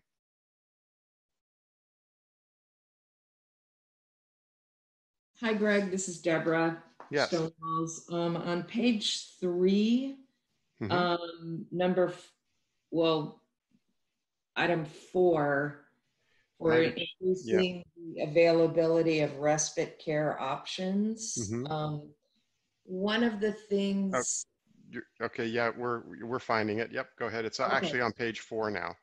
oh, oh, okay, sorry about Yep, that. Okay. Oh, we got it. One of the things that Jill mentioned would be um, to look at some public-private partnerships.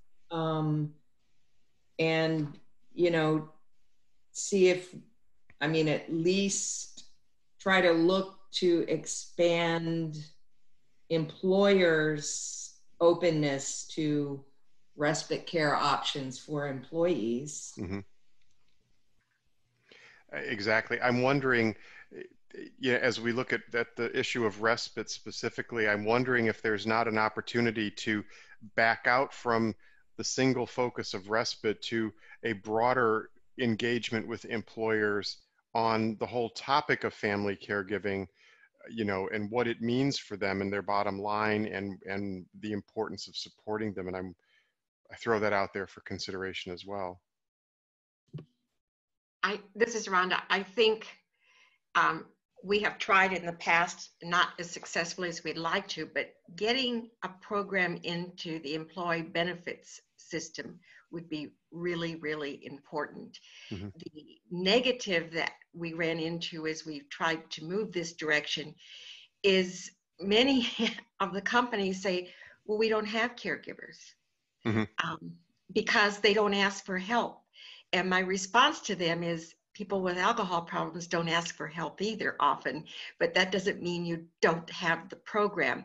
And so part of this is again the outreach to mm-hmm. employers, especially those who clearly are employing a population that is clearly the large population of caregivers. We need to reach to them, A, to get them convinced they actually have these people, and then B, to see if we can't get some employee benefit programs in there. Yeah. Greg, I want to, I want, I want to second that um, and, and, and take it further that maybe in a future meeting, uh, we have a presentation that is uh, very corporately based in terms of how our employers or corporations dealing with it. And um, I refer you to the, uh, many of you have probably heard the reports of the work that Bank of America is doing. Uh, some very impressive work around how they're addressing family uh, uh, caregiving. So uh, I would just throw that out as a su suggestion of we hear from the corporate world. That's that's great because as you remember at the start of today, I wanted to, you know, for you all to provide suggestions for additional topics you want presentations on. So that is that one is noted definitely. Thank you, Alan. And I think that also links to the work yesterday from um, Lynn in mm-hmm. terms of F- FML, FLMA. You know, that's mm-hmm. also good. Yep. Definitely. That's what I was going to add into, Rhonda. I was just thinking about pulling in from, you know, which states are doing well, pulling that analysis into this conversation as well. Mm-hmm. And, you know, pulling some of those lessons learned and figuring out how can we build from that success. And would it be possible for us to develop a or, or foster the creation of a roadmap for other states to get to where some of the leaders are in this in the whole utilization and implementation of FMLA? Yep. Can, can I expand that to what we were saying earlier? I think there needs to be a roadmap on the public side of how do states get there and a roadmap for the private sector of how to private, how do other organizations in the private sector get to where we want them mm-hmm. um, to be. And while I'm talking, one last comment and then I'll shut up. Uh, Greg, you'd mentioned earlier about uh, column D. Mm-hmm. Um, and this is a very general comment that I think will take some thought. Um, I don't think we have enough around the topic of technology okay. uh, in column D. Um, to and that's a general comment that I think mm-hmm. we can go back through and, and, and sort through. But um, clearly, we've got to think better about how do we use uh, technology at, at every um, every level. So there's a, um, a very innovative company here in Texas that is using a, t- uh, a app around uh, uh respite um, mm-hmm. to provide rapid rapid selection of respite uh, providers to come to your house. Kind of um, uh, think of Uber for respite care. Mm-hmm. Um, you know, so I think there's some a- aspects of technology that even apply to, uh, or especially apply to uh, uh, respite. Thanks. Someone else have a comment? It looked sounded like somebody else was trying to weigh in. I had a question for a follow up for Nancy actually. When she was, um, Nancy, if you were saying about your rapid pilots, how rapid it, um, I should have asked before I was saying, oh, only 10 years from now we can do it. Isn't that quick? How quick were you thinking in your head? What did you have in mind? Um, very quickly very quickly. We very can't quickly. do that. I think well, you should add that. You know, and I'm also sitting here, I'm thinking, uh, you know, we're we're in the middle of a of a pandemic, of a crisis that this country has not experienced for decades. And family caregivers, um, spotlight is, is being shown on family caregivers. Parents who are, are now staying home with school children who don't have school to go to, um, you know, family members who are taking care of adult children with disabilities and, and parents who have had strokes. Um, family care, in my mind, family, you, you can't turn on the, on the national or state news every night without hearing a story about a family and a family caregiver and family caregivers that are keeping this family, this country afloat right now. And somehow I think we should use this opportunity to educate Americans about the fact that we, as a society, we can't exist without family caregivers.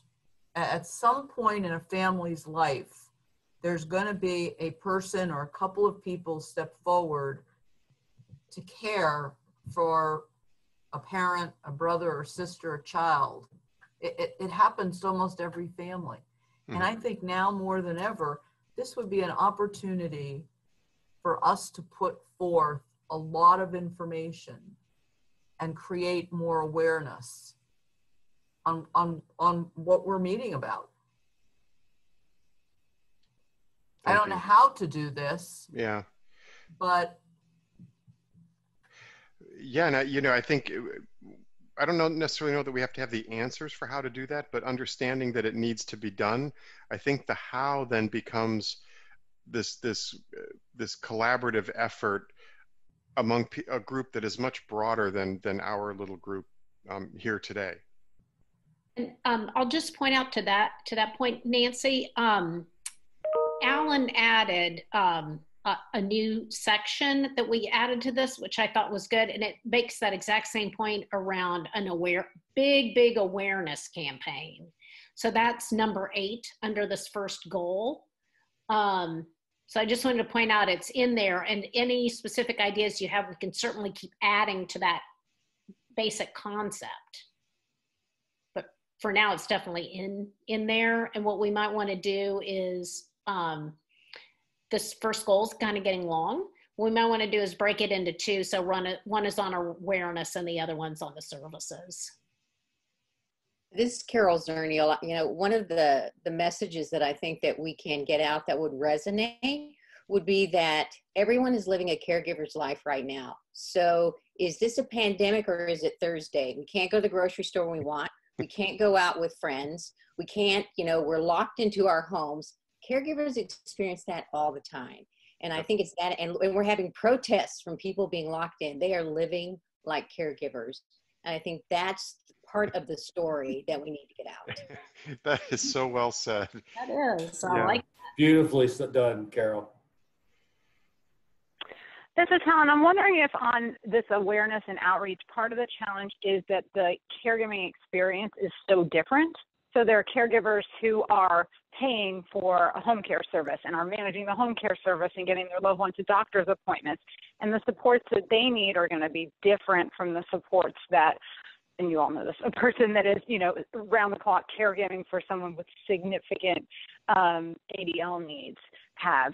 And that a as we go through this that we think about those different types of caregivers and the roles that they, that we fill and then the other piece of that would be how what are the different policies and narratives that we can give to each of them? So when you meet with employers you know it's not going to resonate with them that caregivers are providing all of this care and you know 24 7 et cetera et cetera. What will resonate with them is you know you've got staff who have an older loved one or a child with a developmental disability and they need to be able to take time off for doctor's appointments or if there's a hospitalization they need the supports for there for for that time. So thinking about tailoring our discussion not only to those populations, but then also getting the narrative out about the different ways that you can be a family caregiver and the different ways that family caregivers are impacted by employment, by supports, by the different types of respite that you would need depending on the type of caregiver you are.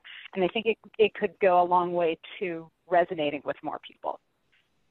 I quite agree with Helen, and I must add one point, and that is it's not only that employers understand what um, you know caregivers' needs are, but care- employers are also impacted by this, and so it goes uh, both ways. There are different types of employers. Some are of small businesses who are losing their labor force right now because of the lack of caregiving support that's available. Um, given that we're talking about employment and we that's come up again and again and again, financial well-being and employment, and we know that so many of the uh, caregivers are are employed. Going back to the presentation we heard yesterday around some ideas around family leave and and paid sick leave, did those ideas which of those ideas because there were so many of them i mean even just expanding the fmla there are many different ways to expand it between the definitions et cetera so is there anything in particular that resonated for you all that you think needs to be part of the recommendations This is Rosemary. Speaking in regards to employment, we're sort of assuming that the majority of our caregivers are actually employed in a setting where they are offered some type of leave benefit.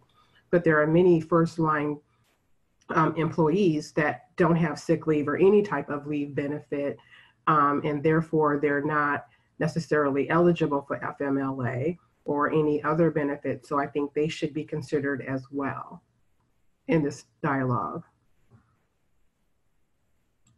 in this Carol's Zernial, I think the opportunity may be to align ourselves very closely with the with the childcare folks because uh, the issue of, of childcare and kids being out of school during this pandemic, uh, there's a lot of discussion about childcare, and we don't always show up. The elder care piece doesn't always show up in that dialogue. So going back to the prior discussion, that family unit, what is it that keeps people from working? What is it that keeps people from being productive? It's both ends of the spectrum.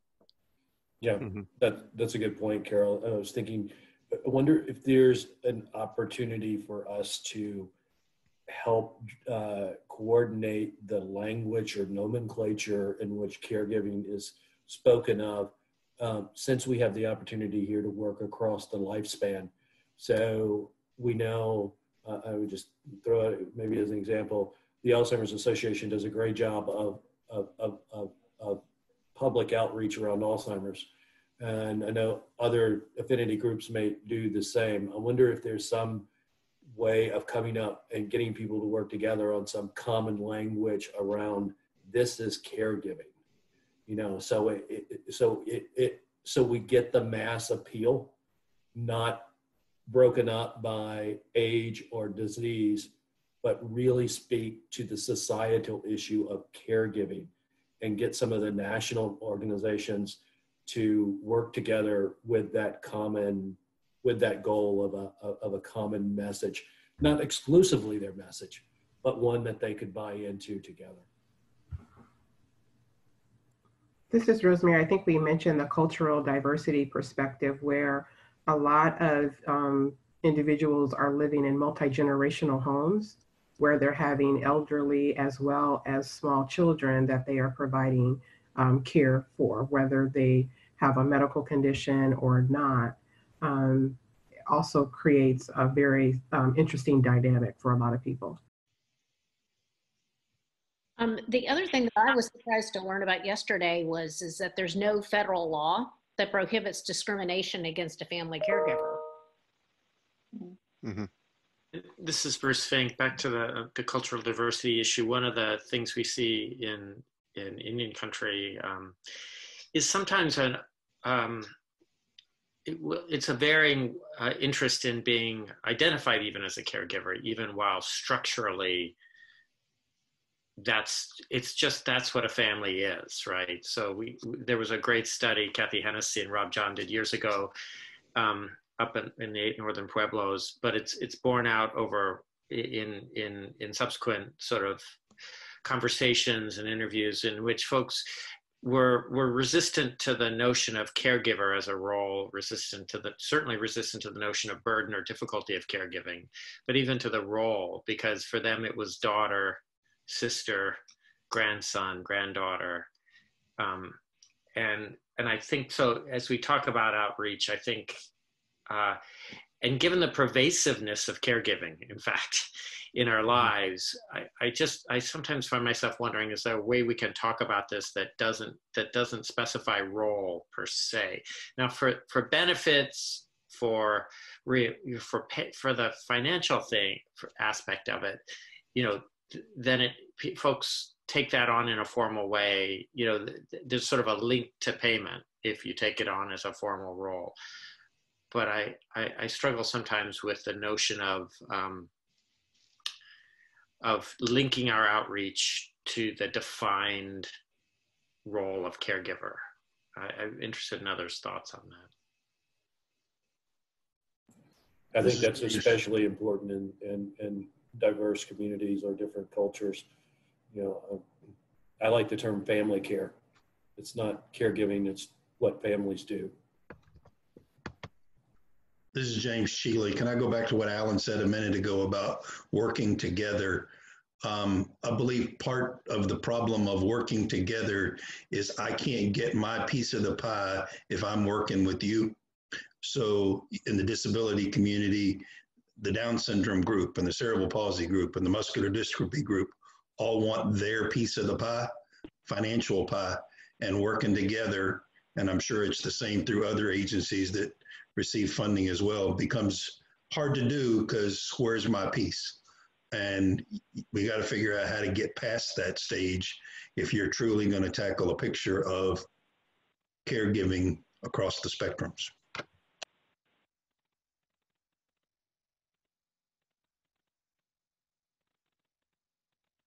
Thank you. Um, one last thing, this is Rosemary. I'm a big proponent of exemplars and having people have an opportunity to tell their, share their stories and their experiences. Um, sort of makes people that haven't had those experiences have some inclination of what the challenges are and have a greater appreciation and awareness that there is actually a need um, that is very different depending on individual and their locality and the complexity of the individual, their care recipient. Thank you. This has been a fantastic discussion. Um, unfortunately, we've hit the time of the hour Yeah. that I need to turn it back to Greg to wrap it all up. but it has been a fantastic two days. It has. Um, I, I just want to thank everyone. Um, on behalf of Lance Robertson in particular, he emailed me just a few minutes ago. Um, he had hoped to be able to get back on the call um, to thank you and to, to send us on our way, um, but he's been called away to another meeting. So on, on behalf of Lance, I want to say thank you from him um, for, for these two really incredible days. Um, if we could go ahead and pull up the final slide, I want to, um, Chantal, I want to do a, a quick wrap up and kind of go over what we've said. And I've got a, we're going to have another question for the group here before we sign off. Um,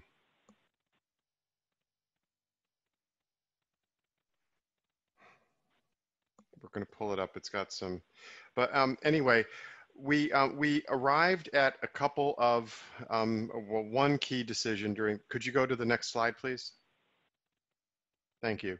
Um, so yesterday we decided that we are not going to have any more in-person meetings of the full council for the remainder of 2020. It's simply um, it's simply too uh, iffy with the, with the current pandemic situation, and and that is certainly fine. I, I'm beginning to feel very comfortable, unfortunately, with this meeting format. Although I would much rather be in person with each one of you because I think it's so much more interactive and you all are just so great that the energy you provide in a room um, I can live off of for days, but we will get there in 2021.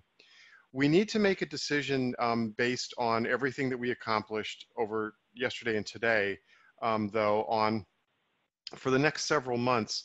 Do we want to perhaps meet as a full council like we did today with very targeted agendas? So um, Wendy and I could easily see um, instead of subcommittee meetings in June or July, maybe convening the council again like this instead of for so for two days and maybe have a series of targeted presentations maybe we could bring in presenters that could talk about employer and workplace issues and identify a couple of other topics that you all would like to hear from and then we could structure a couple of exercises that will move you all towards um, being able to begin crafting a set of recommendations that will become part of the initial report and then do some further work on fleshing out this framework of, of the driver diagram that's quickly becoming the framework for what's going to be the national strategy. So my question is, would you, are you wanting to go back to subcommittees meeting as those little groups, or would you rather have maybe a couple of full council meetings, perhaps one in mid-July and another one in mid-August, um, or early September. Um, so we have a poll question, but I'd be interested in hearing some comments from folks if you, if you all um, have thoughts. Greg, I'll jump in and say I, I think the last two days have been fantastic meeting mm -hmm. together. So I would really like for us to continue to meet um, as as a entire committee in, okay. in this format. Okay. But uh, could I suggest maybe? But I think um, and, and this duration of time mm-hmm. is is good because I think we really get a lot done. Mm-hmm. Two days back to back is probably more than I can do every okay. month. All right. Um, but like one session like we had mm-hmm. uh, per month would would fit my life, but you know, I, I, I can't I can't speak for I can't speak for others. That's just my view. Sure. No, I, I think that that's valid. I think the two days in a row, while we can get a lot covered, is a big ask for for most of us. So, other thoughts before we open up the poll, just to see what folks think. Yes, Catherine. Um, I I support the um, the virtual full council meeting. Okay. What I liked was, and I think there are some things that can be extracted from the drivers, such as some some issues that could be brought up mm-hmm. for the full um, committee, um, such as you know the Bank of America's plan and, and what they're mm-hmm. doing in helping financially, and some mm-hmm. other things that came up through those discussion questions, like mm-hmm. what you know we, we there were a lot of things that came up, but we don't really know what does exist. I'm going to use the the whole issue about faith-based communities and and what they can do. Somebody has that data. I know they do because I know SeaTac has some of it. I know AARP has some of it, um, where somebody can present it so we can decide, do we need to make sure that that, you know, moves on and is a, a strategy or tactic that we go through. So I, I like the, the full council with the discussion um, questions that, that arise from, that we look at before we convene. Great. Um, so if folks, so the, the, the poll that's up there is for the council members only, so not members of the public. Um, and we're, we want to take the temperature. Um, so if you all could make your vote, make your selection. Um, and then we'll see what we have.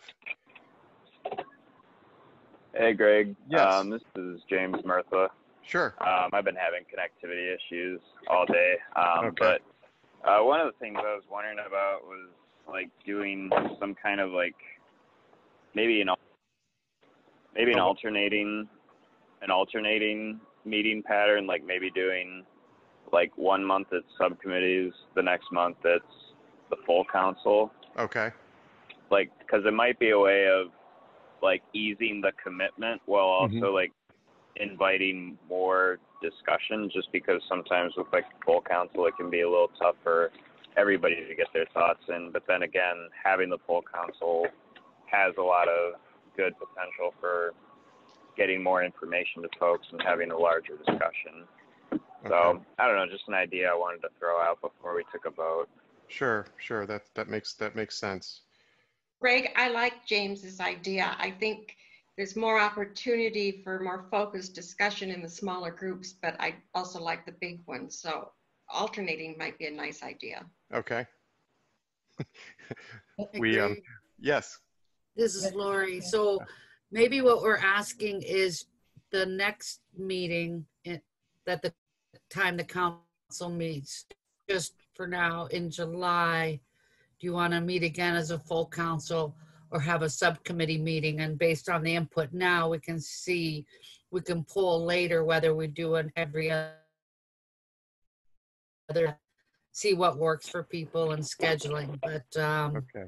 the next time we meet in early July, do they want full council or subcommittees? After that, we'll Okay. pull more exclusively about format over time. Okay. So it looks like we, like most, want to do a, a, a full council meeting, um, and we would be looking in, Ju- at July. And I, th- I think we're fine with, with that. And then we could then revisit this question because at that point, you know, the, the, hopefully we'll be further along in getting over the, the impacts of the pandemic and we can look ahead, maybe do some subcommittee meetings. So if it's okay with folks, we'll, we'll plan a, a full um, council meeting like this sometime in July. Um, and we'll, we'll select a date, probably one of the, the subcommittee already pre-scheduled dates. Um, it's on many calendars, um, but we'll, we'll reach out to you. I also wanted to just talk about a second, um, remind members of the council that from um, the work that's going to be happening happening at, at UMass and Community Catalyst with the focus group and listening sessions. Council members, you will be um, receiving your invites from from them to have to that back room to listen in and to um, observe those those sessions, the listening sessions and the focus groups. So those invitations will be coming your way. Um, just please remember that um, the, the confidentiality of those sessions that, you know, to, to not divulge, you know, the information that you hear. Um, I'm also going to throw this out, and this may be a surprise to Wendy, um, but we, we didn't, I, I, think, get as much of an opportunity to focus on the driver diagram today as I think we had hoped. So what I would like to suggest is that um, each of you, in light of today's, of the presentations and discussions from the past two days, um, that you take some time with the driver diagram um, and mark it up a little bit in, you know, on, you know, just in there in, in the Word document that you have. Um, mark it up with your thoughts and ideas based on everything that you heard.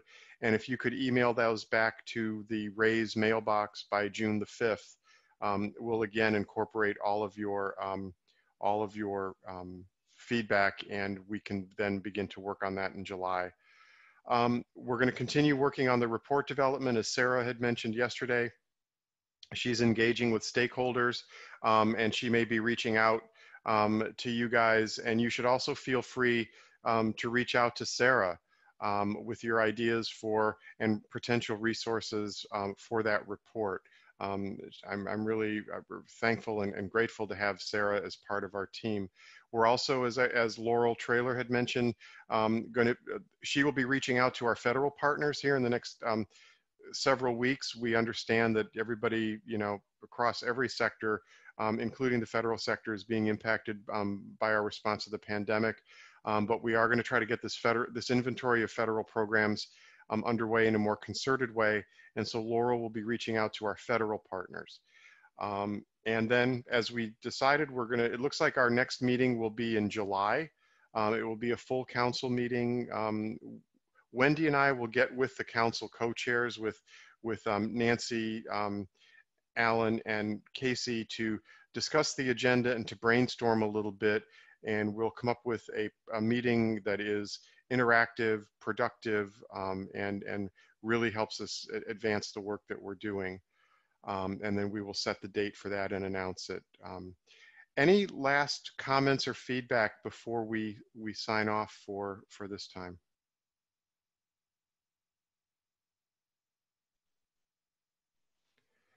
Okay, well, I want to wish everybody all the best, um, a good Memorial Day weekend.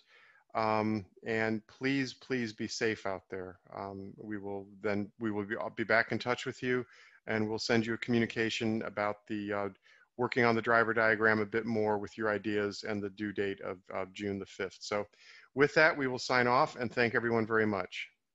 Thanks, Take care. Take care. care. For organizing. Bye. Thank you, everyone. Thank Take you care. Bye-bye.